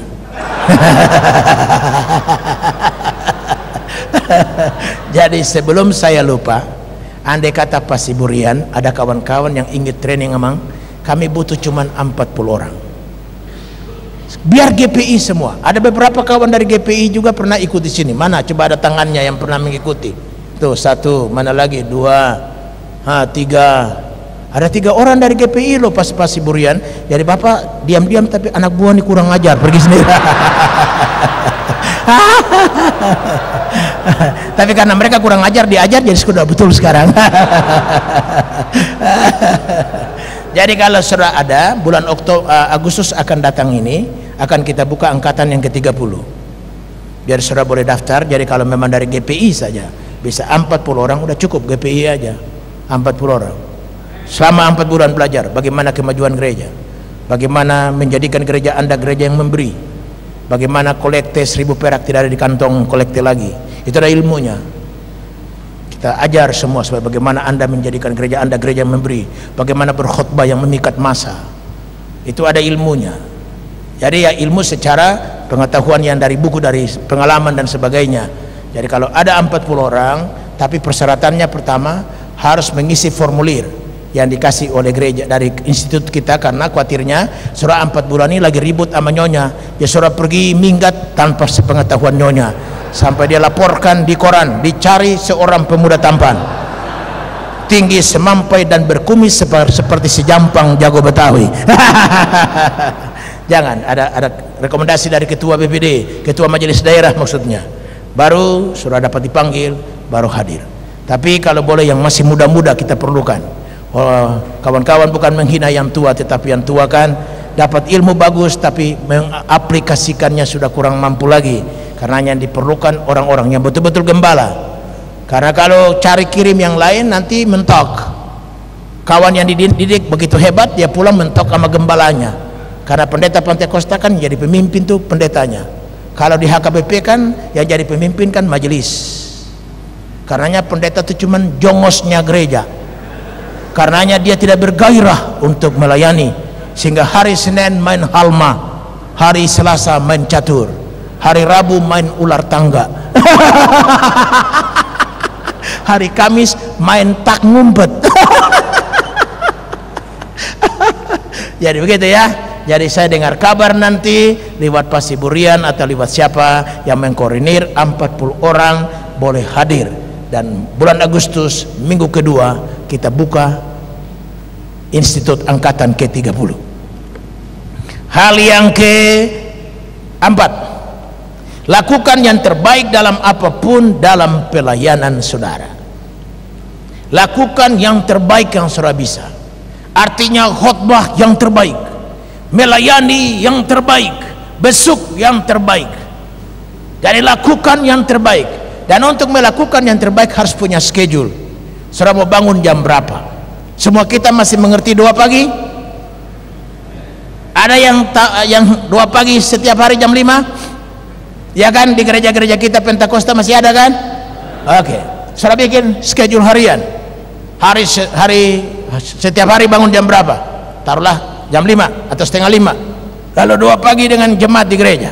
Habis doa pagi bikin apa? Tidur lagi? Atau olahraga?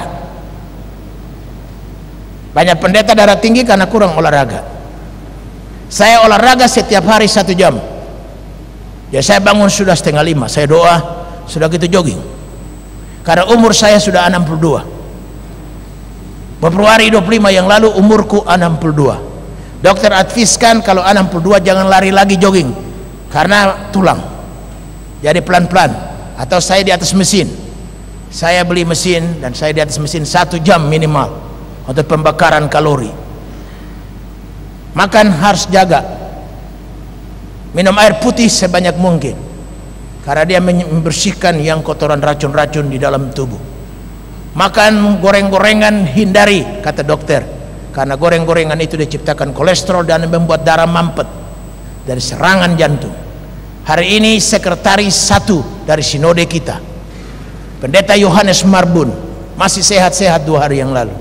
Sekarang di ruang ICU tidak sadarkan diri. Pendarahan di otak dua tiga cc. Dua tiga mili darah. Harus sekarang potong otak. Kepala harus dibelet darahnya harus diambil dikikis keluar. Kalau nggak bisa di sini harus dibawa ke Penang. Penang. Di Malaysia. Masih muda. 42 tahun. Selidik punya selidik tidak jaga makan. Kurang olahraga. Jadi bikin schedule harian. Bangun jam berapa habis itu bikin apa bikin schedule mingguan saya punya schedule mingguan Hari Minggu saya beri nama Sunday is the King's Day. But Monday is the Queen's Day. Artinya hari Minggu hari raja. Hari Senin hari ratu. Hari Senin hari Minggu saya khutbah empat kali. Jam 6, jam 9, jam 1 dan sore jam 5. Terus dan habis kebaktian beri di pintu pegang tangan dengan ribuan orang. Dengan ciri khas senyum menghiasi wajah walaupun gigi tidak rata. schedule hari Senin. Hari Senin hari Ratu. Jadi hari Senin itu kalau boleh saya boleh-bolehnya. Saya tidak terima pelayanan. Saya santai bersama ibu. Karena hari Ratu. Jadi saya dampingi dia pergi ke pasar. Dorong kelanjang belanja kalau kita belanja di supermarket. Tapi kalau kita belanja di pasar impres maka kangkung dipegang di tangan kanan bayam di tangan kiri petek gantung di leher. Dampingi ibu ke pasar. Sudah gitu pulang saya mandiin dia shampoin rambutnya gosok belakangnya sikat kukunya memandikan bini sendiri tidak ada hukum yang melarangnya memandikan bini tetangga ditangkap polisi. Haleluya. Jadi hari Senin mandikan istri. Jadi habis pulang dari kita punya sinode ini pekerjaan pertama hari Senin bikin apa? Mandiin istri. Tinggal nyonya bingung aja. Aduh pak kita telah menikah sudah sekian puluh tahun. Belum pernah aku dimandiin. Kok ini pulang dari sinode? Kok jadi apa-apaan nih begini? Maka bilanglah ini resepnya pendeta Yakob Nahuai. Jadi hari Senin hari Ratu. Dampingin dia ke pasar mandiin dia. Sudah habis mandi kita makan pagi habis makan pagi kita timpuk-timpukan dengan bantal kepala dan bantal guling. Dan kita genapi firman berbiak dan bertambah-tambahlah dan penuhi bumi ini saya lagi ngomong firman. Bapak-bapak pikiran porno itu urusanmu sendiri. Ini saya lagi ngomong firman. Haleluya. Jadi hari Senin kita beri nama hari Ratu. Urus nyonya. Supaya nyonya tidak menyesal menikah dengan seorang pendeta. Jangan nyonya bilang aduh lakiku ini pentakosta murni. Sampai mandi bini pun dianggapnya duniawi.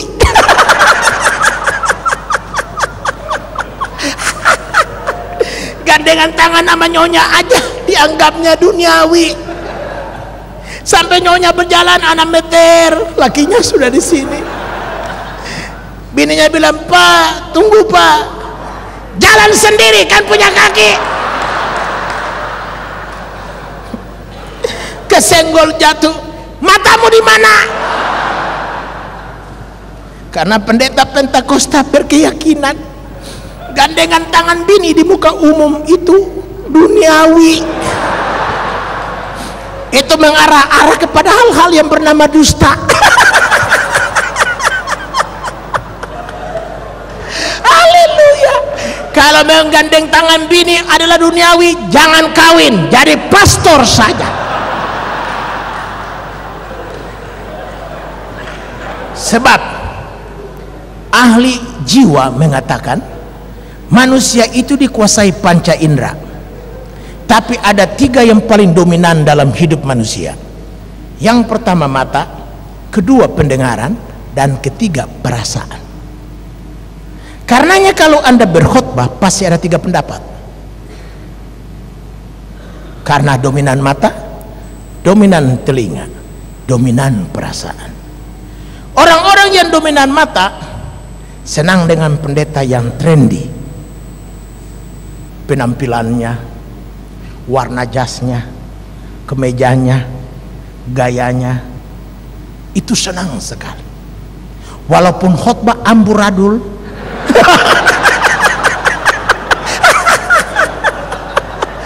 tapi penampilan oke? Tetap orang dominan berkata luar biasa. Kalau dia pulang dan suaminya bertanya mama bagaimana khutbah pendeta? Luar biasa. Gayanya yang aku suka. Orang dominan mata itu senang dengan pendeta yang jalan di mimbar.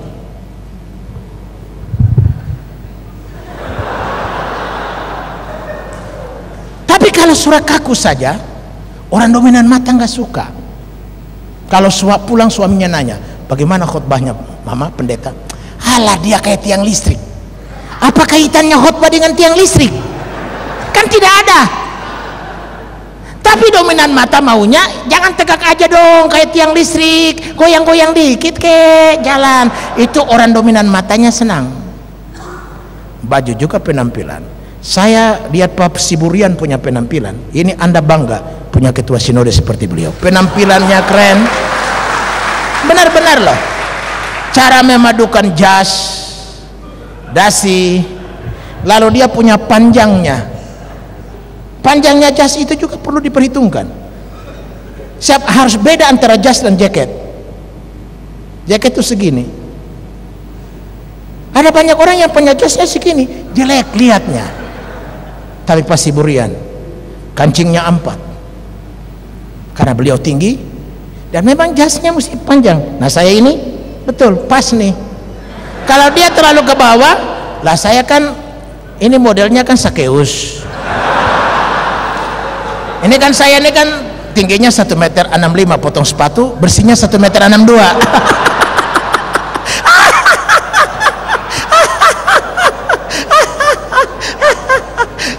jadi sudah beginilah ya jadi orang-orang ahli mode bilang baju di badan tidak boleh lebih dari tiga dominan. Paling bagus tuh kalau dua saja dua dominan. Nah dominan apa di badan saya sekarang? Coklat. Sudah lihat kan? Celana cocok matching. Dibuka jasnya. Dasi. Kemejanya tidak usah putih dia agak sedikit warna krem karena dia mendukung dengan jas ini. Sepatu coklat. Jangan sepatu putih. Kalau sepatu putih begitu muncul ke depan pelangi pelangi alangkah indahnya. Rasulullah bilang begini wih saya maju ke depan saja. Roh sukacita menghinggapi mereka. Eh dengar. Dengar dulu. Harus bisa membedakan mana roh sukacita dan mana roh penghinaan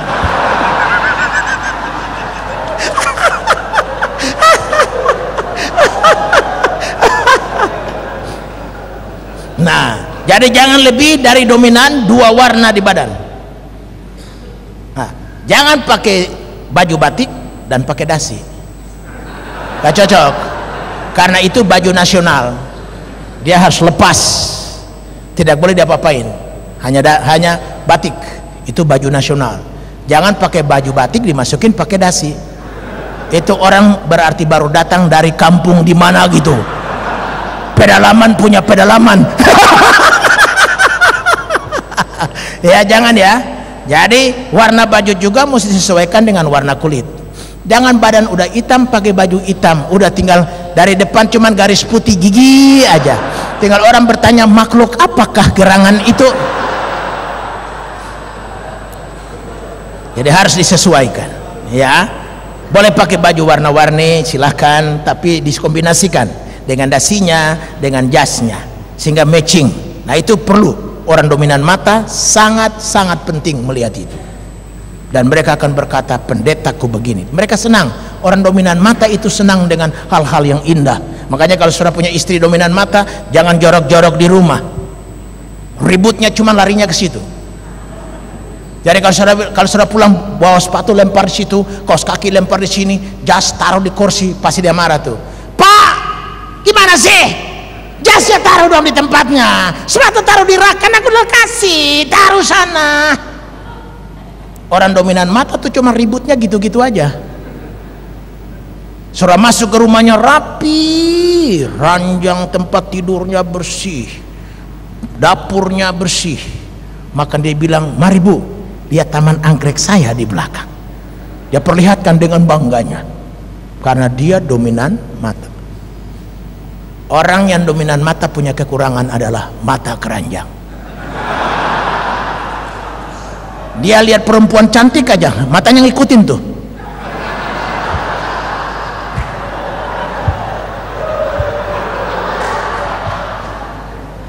Ke mana perempuan tuh jalan matanya ngikutin. Karena dia mata keranjang itu kekurangannya. Kecuali dia pendeta Pentakosta Indonesia ya. Nah itu kekurangannya. Nah karena itu pendeta mesti bergaya. Anda mesti mantap. Tapi juga jangan overacting. Anda overacting yang komentar mereka juga. Alah pendeta banyak gaya. Yang komentar tuh pasti bukan dominan telinga. Yang komentar dominan mata juga karena udah terlalu lebih. Kayak makanan tuh perlu garam. Tapi kebanyakannya nggak bagus kekurangannya juga nggak bagus. Pas anda juga mesti hati-hati dengan dandanan. Misalnya ada ibu pendeta mesti pakai cincin mata berlian, pakai kalung sampai terlalu bagaimana. Bukan salah. Tapi orang yang dominan mata bilang begini, percuma kasih kolekte.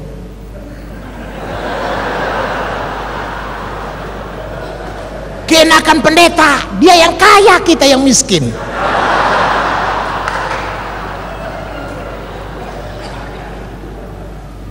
Saudara pernah pikir sampai ke sana nggak sih? Apa Pak Yakob Nova yang nggak bisa beli cincin mata berlian dengan kekayaan gereja seperti sekarang ini?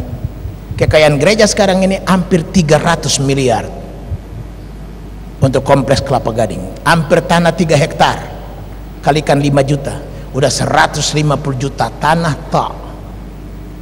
Bangunan kantor yang mewah, bangunan sekolah, gereja sekarang 100 miliar hampir 300 miliar kekayaan gereja yang Tuhan percayakan bagi sahabatmu ini. Dengan begitu apa Yakob namanya bisa beli cincin bermata berlian? Jauh lebih dari bisa. Tapi pertanyaan batinku bertanya pada diriku hendak kau pamerkan kepada siapa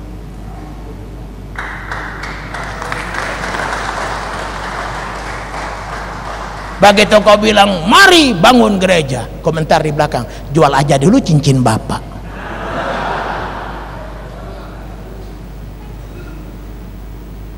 Enak-enak bapak suruh kita nyumbang. Bapak sendiri nyumbang apa? Nah orang dominan mata tuh begitu. Kalau sekarang sudah pakai jam Rolex bukan nggak boleh. Boleh aja Cuman kepada siapa saudara mau pamerkan? Makanya kita harus menyalipkan diri kita. Nah, itu kan anjurannya kan begitu. Karena apa? Kalau nggak begitu yang jadi pendeta. Jadi aja pengusaha. nggak ada yang larang siapa larang pengusaha pakai jam Rolex tapi pendeta pakai jam Rolex dilarang dilarang majelis sudah nggak punya majelis istilah tua-tua pasti dia bilang begini pak mohon maaf pak. Kawan-kawan usul saya untuk datangin bapak karena mereka yang lain malu. Soalnya jemaat kita nih banyak yang nggak memberi pak. Karena mereka bilang kita memberi apa? Enak-enak pendeta kaya kitanya yang memberi melulu. Tapi coba kalau kita bawa diri sederhana. Lehernya pun diminta dia kasih.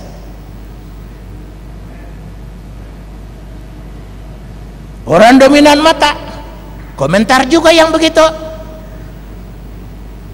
Ah tapi kalau kita sederhana saja.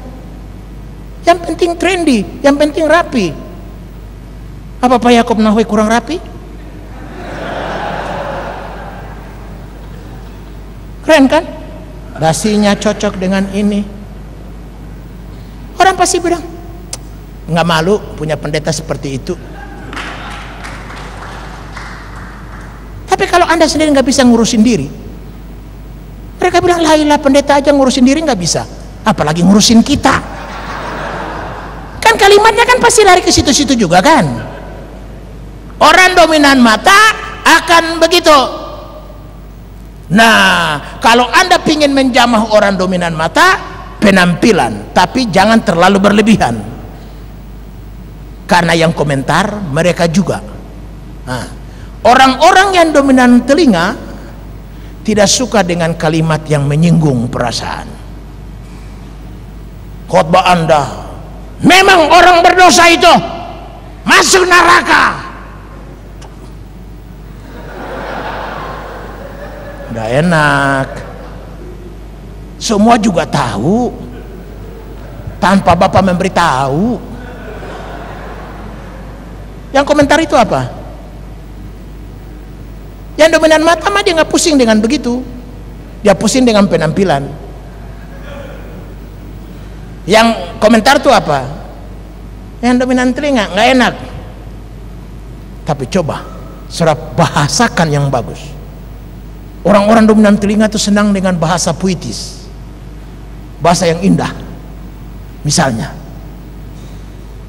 andaikan aku hidup di dalam dosa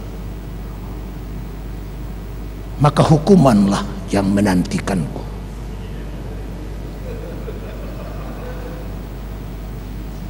Adakah yang baik didatangkan dosa? Mari kita lihat Alkitab. Dosa membawa sengsara. Dosa membawa malu. Tidak ada orang berdosa yang diarak keliling kota dan diberikan ulos sama opung selamat atas dosamu yang dipamerkan. Berarti dosa membawa malu dosa membawa sengsara dan terakhirnya dosa membawa kita kepada istana yang bernama neraka. Neraka disebut istana bagus kan? Dari depan neraka jahanam. Orang juga udah tahu. Tapi coba kalau bapak-bapak bahasakan agak bagus. Wah. contoh lain. Ada pendeta mau bangkitkan semangat memberi di jemaat tapi salah ngomong. Ngomongnya gini.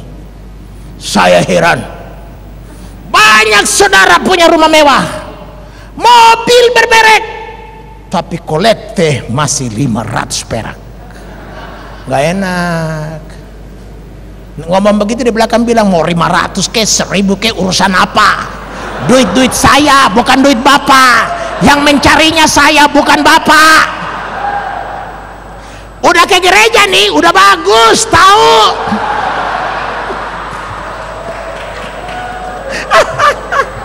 saudara berkhotbah dia sendiri khotbah juga di belakang. Hanya khotbah saudara setelah doa dia mangga.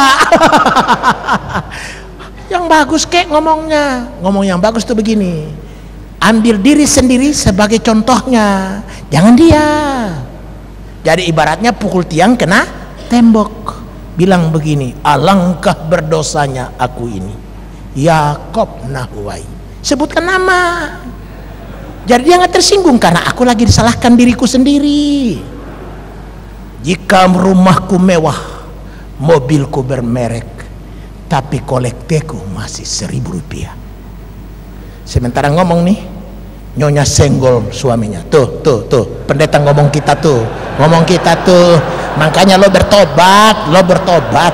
Gua kalau kasih kolekte lo marah-marah. Kasih perpuluhan lo marah-marah. Dengar tuh dengar tuh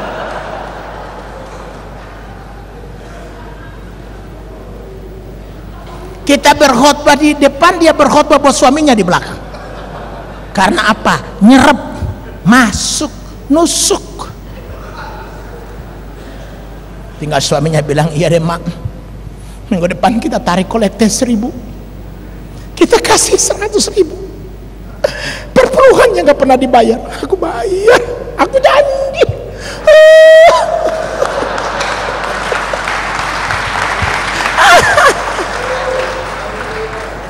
jadi kalau khotbahnya mau begitu penampilanmu udah keren.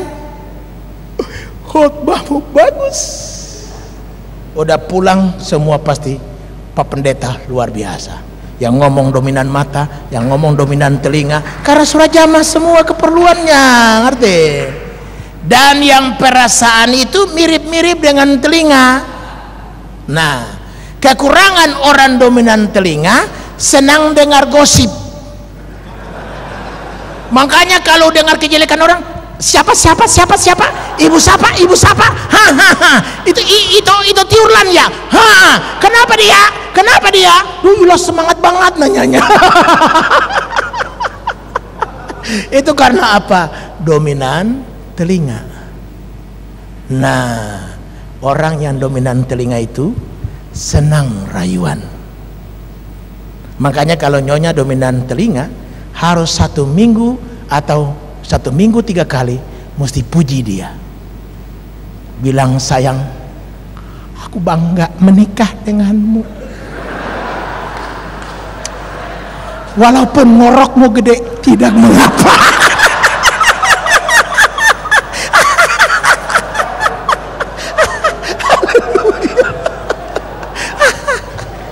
Walaupun ngorokmu gede sayang aku itu nyanyian malaikat. Waduh langsung dia hancur hati. Dia bilang hari ini aku makan masak makanan enak buat kamu. Makanya orang-orang yang dominan telinga mau koreksi dia harus puji dulu baru koreksi. Umpama dia masak lupa garam. Jangan langsung kau ini makanan apa sih itu dia sedih bisa satu bulan gak hilang-hilang. Tapi kalau surah puji dulu duh ilah makanan hari ini luar biasa. Tapi lebih luar biasa lagi kalau taruh garam.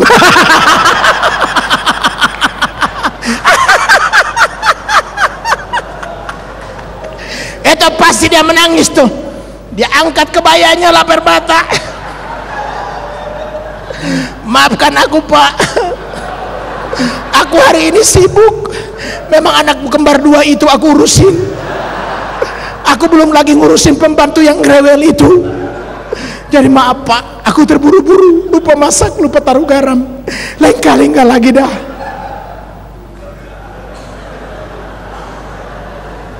jadi istri yang dominan mata puji dulu. Dia melayang di langit baru kita babat.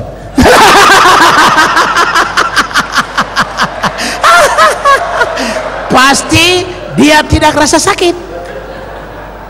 Nah jadi yang dominan telinga itu senang go.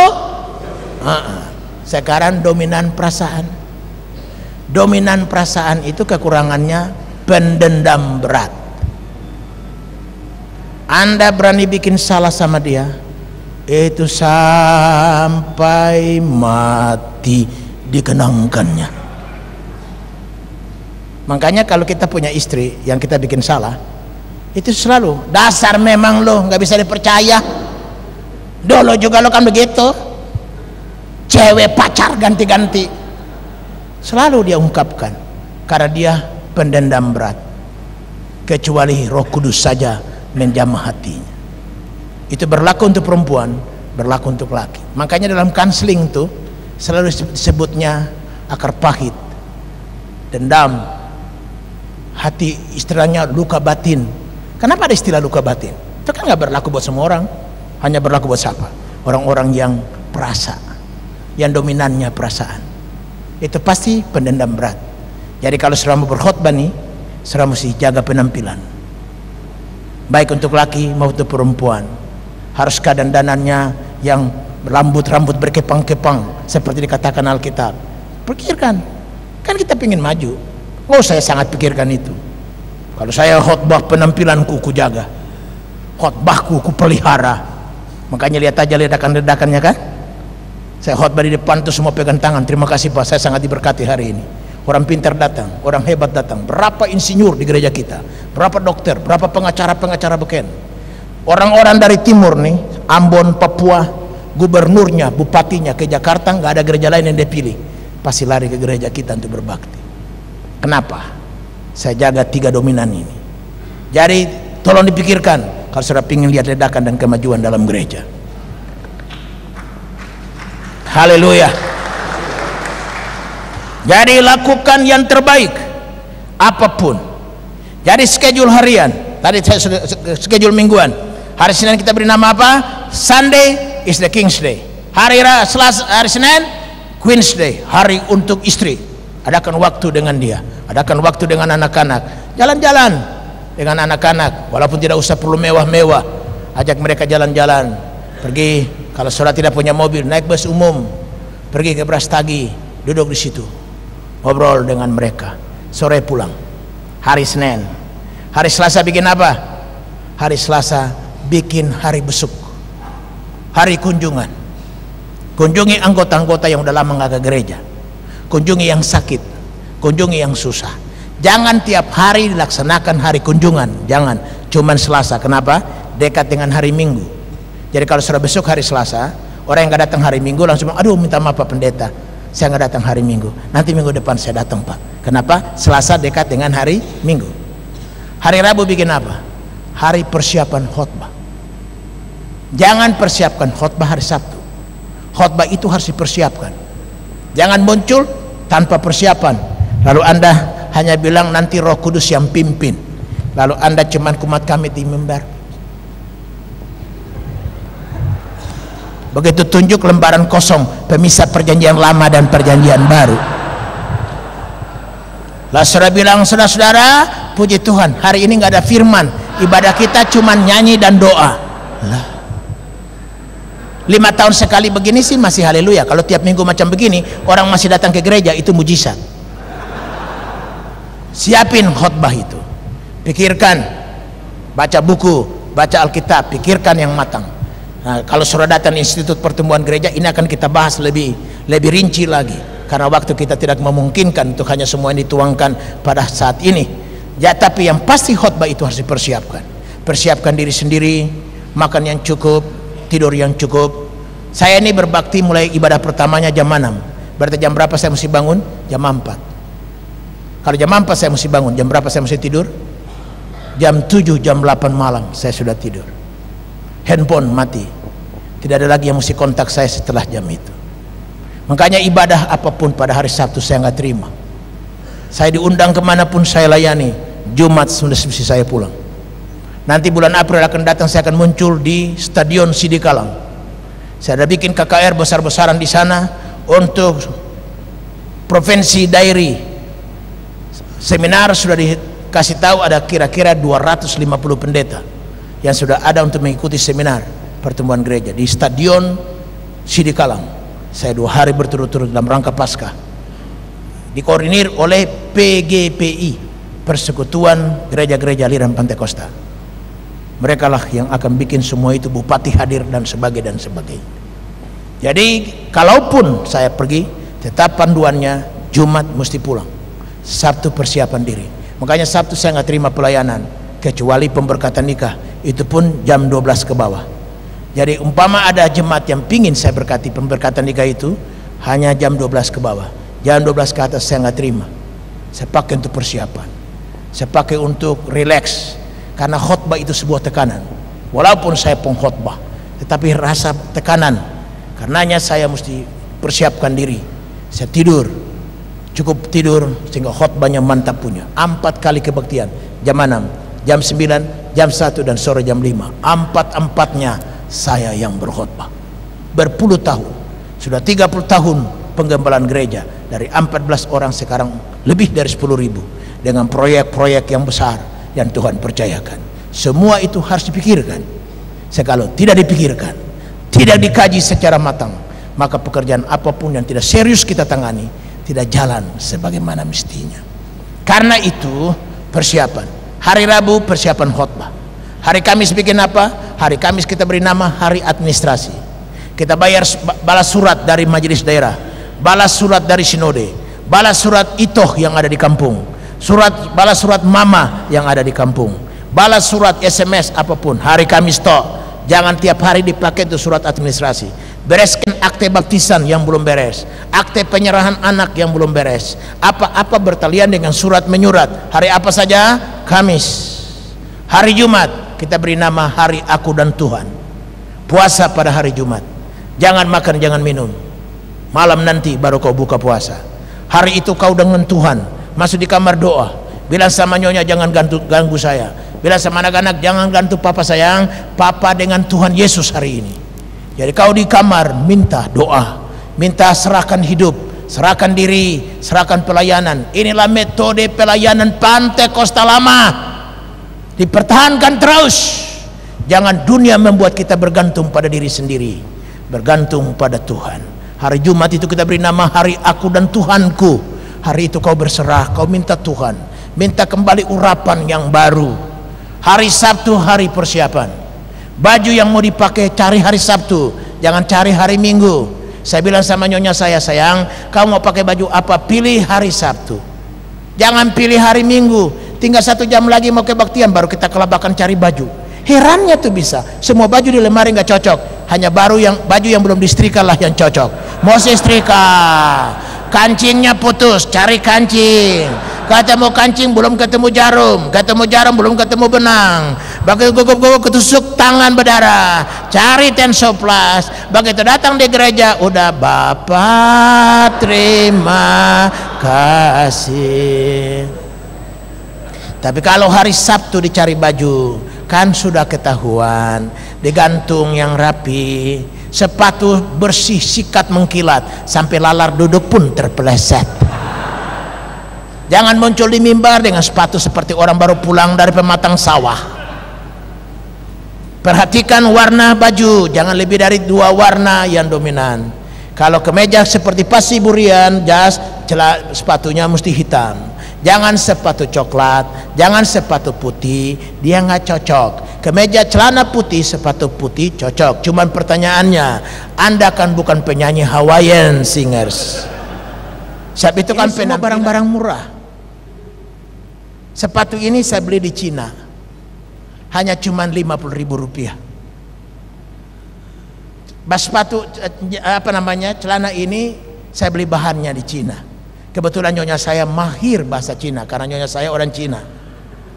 Jadi kalau pergi ke Cina, kita beli keperluan gereja dan sekolah. Sekalian saya pergi ke tempat-tempat yang jual baju, murah-murah. Karena saya ini senang dengan penampilan yang bagus, tapi tidak perlu yang mahal punya. Murah tapi meriah, itu panduannya. Kalau mahal meriah, siapa juga bisa. Tapi kalau murah meriah, orang yang berhikmat saja bisa mengerjakannya. Jadi pikirkan. Nah karena itu hari Kamis kita beri nama hari administrasi. Hari Jumat hari aku dan Tuhan. Hari Sabtu hari persiapan. Cukur kumis.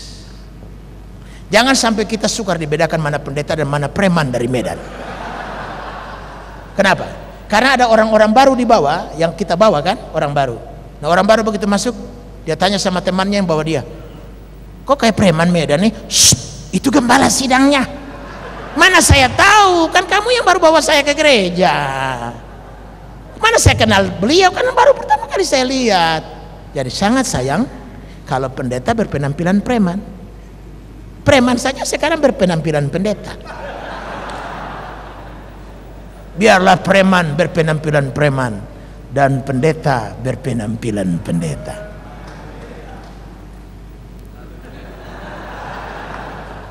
Masa pendeta Pentakosta Indonesia berpenampilan preman Medan? Jadi pulang dari sini kumis bersih. Haleluya. Harus ada perbedaan antara pendeta Pentakosta dan pendeta HKBP. Jadi tanpa minta permisi dari pendeta Siburian sebagai ketua sinode, hari ini saya bertindak sebagai teman sekerja. Jangan pakai kumis. Apalagi menjadi sejampang jago Betawi. Jadi penampilan pendeta Pentakosta Indonesia begini. Haleluya. Hari apa kita cukur kumis? Hari Sabtu. Andai kata pergi untuk pakai sepeda, sepedanya periksa bannya kempes apa tidak. Jangan nanti begitu mau berangkat 5 kilo ke gereja baru ya kempes bannya. Cari pompanya satu jam belum ketemu. Itu namanya si Oto Oto Doho. Apalagi ditambah si Oto Oto Doho Bagudung.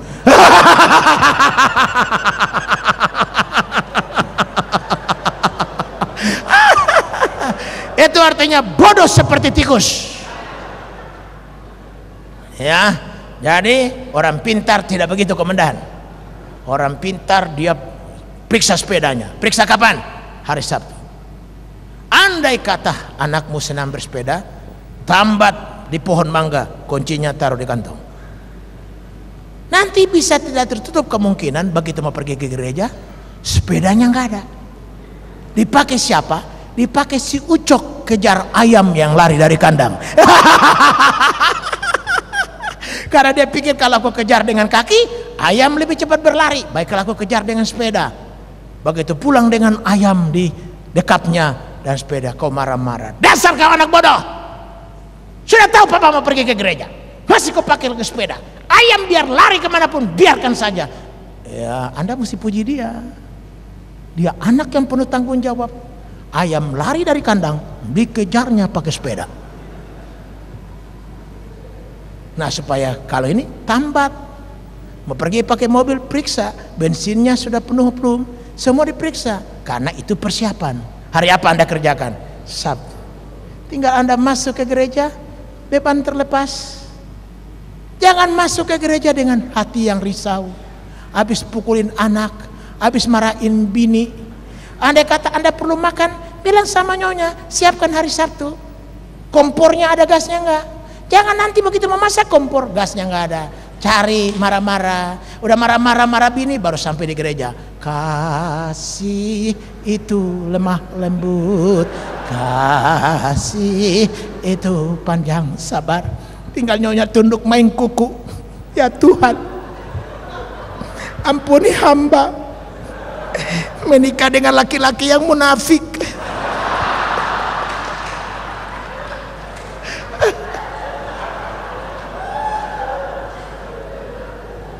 Ini kan kelihatannya sederhana, tapi sangat mempengaruhi khotbah di mimbar. Tapi coba kalau semua rintangan Anda singkirkan. Anda muncul di mimbar dengan muka yang senyum walaupun gigi tidak rata. Anda punya hati bebas, maka kebebasanlah yang Anda salurkan. Tapi coba kalau hati penuh unek-unek maka unek-uneklah yang kau sampaikan. Sehingga yang dominan telinga berkata ini bukan kandang saya ini kandang bebek. Maka pergilah dia ke gereja pendeta Yakob Nawai.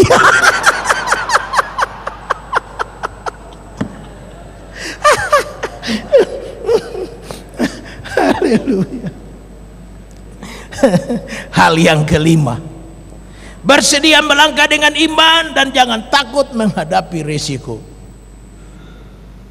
Saya ini orang yang melangkah dengan iman.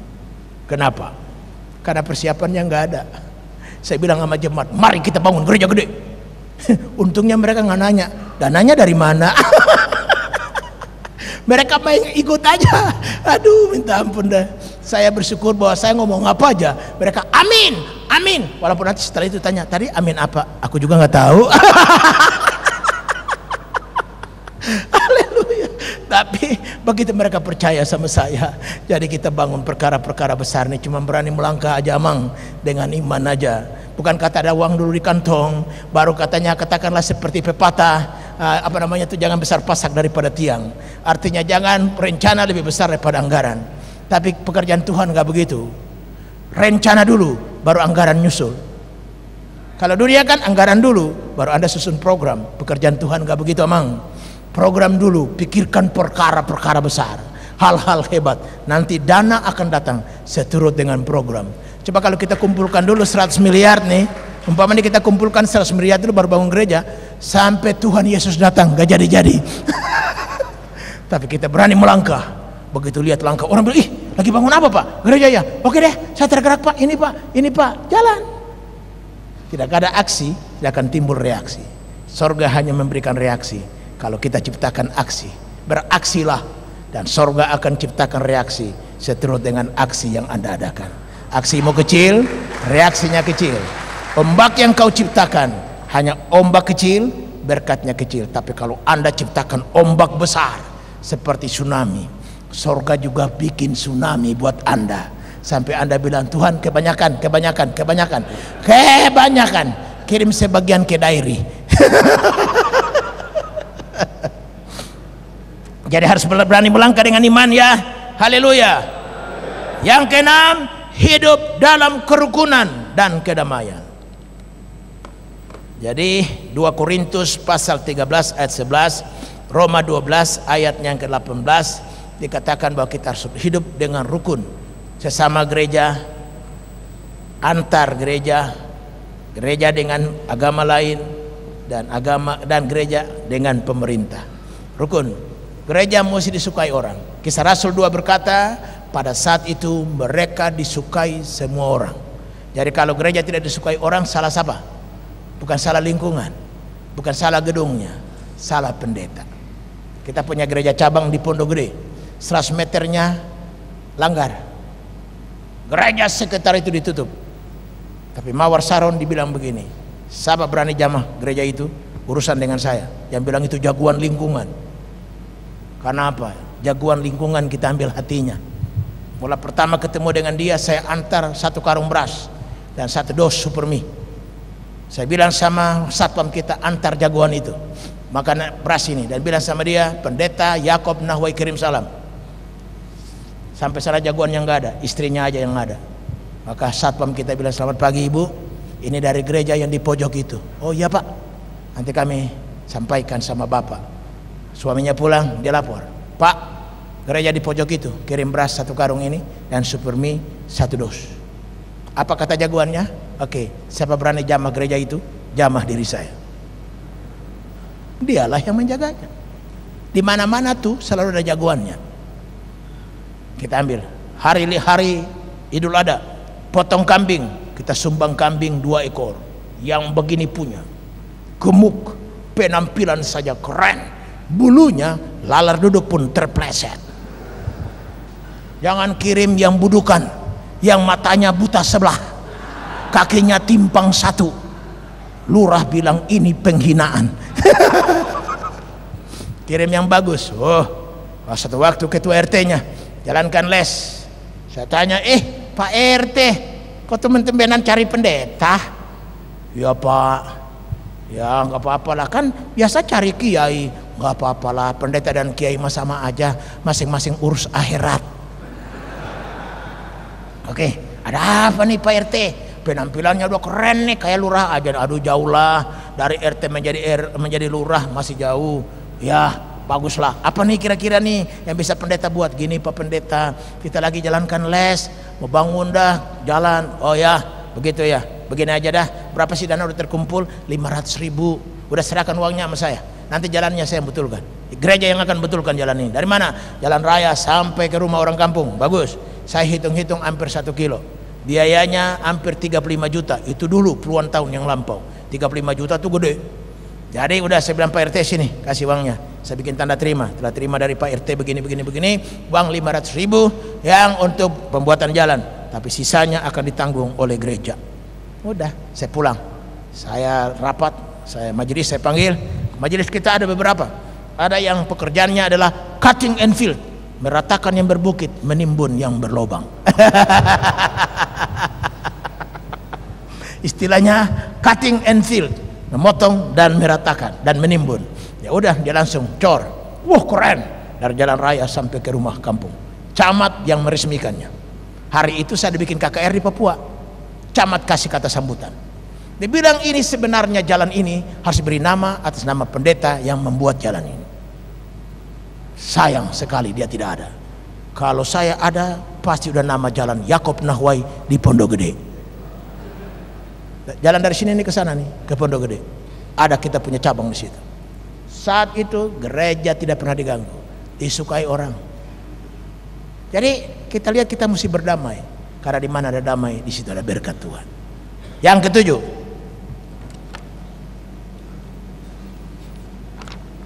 harapkan setiap anggota jemaat untuk terlibat dalam setiap pelayanan. Jangan jadikan anggota itu penonton dalam gereja.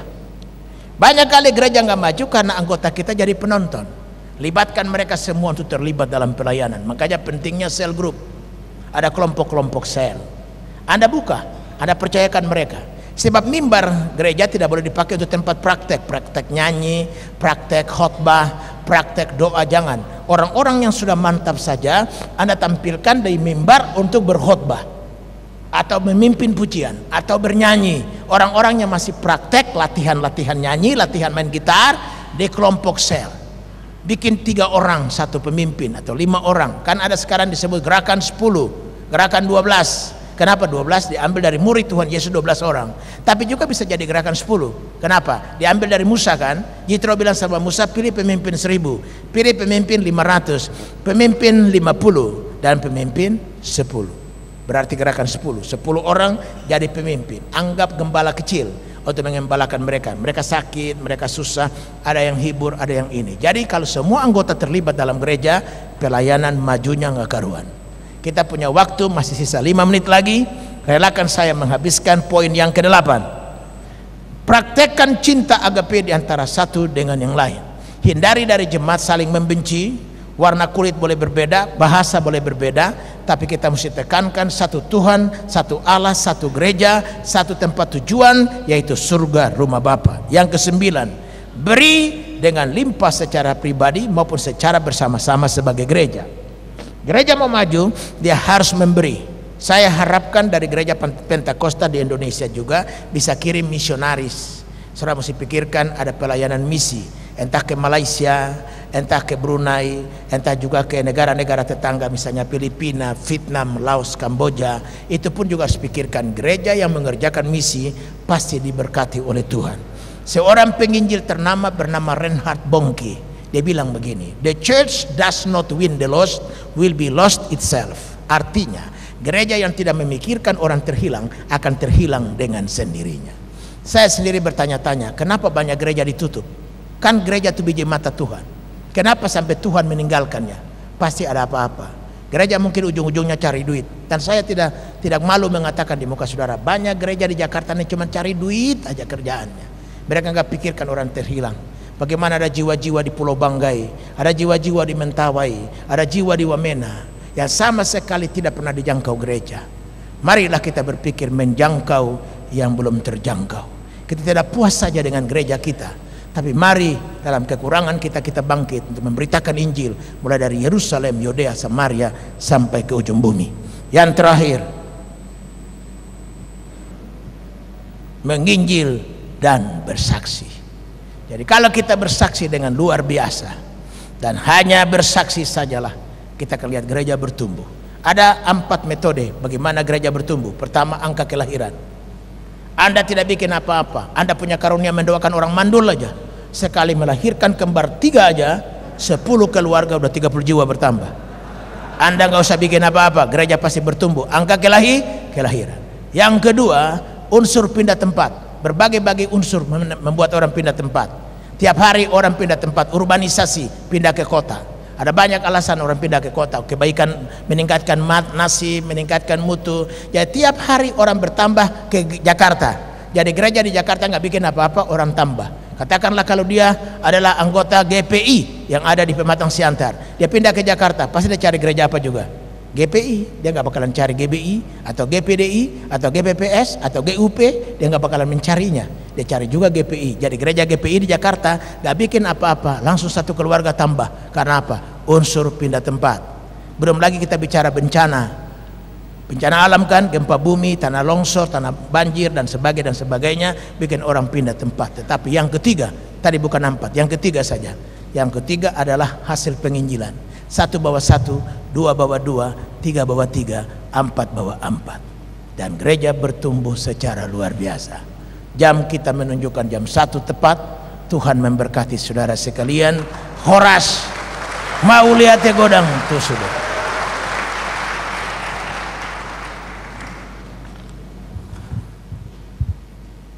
Makasih. Pak, terima kasih Pak. Untuk waktu pemberian souvenir kami undang Bapak Pendeta Jaka Nuai untuk menerima dari Bapak Ketua Ref M. Hasiburian.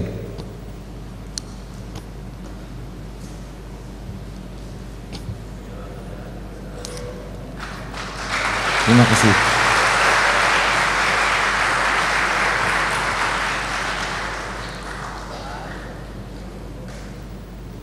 Terima kasih kami sampaikan kepada Bapak Pendeta Jakub Nahwai.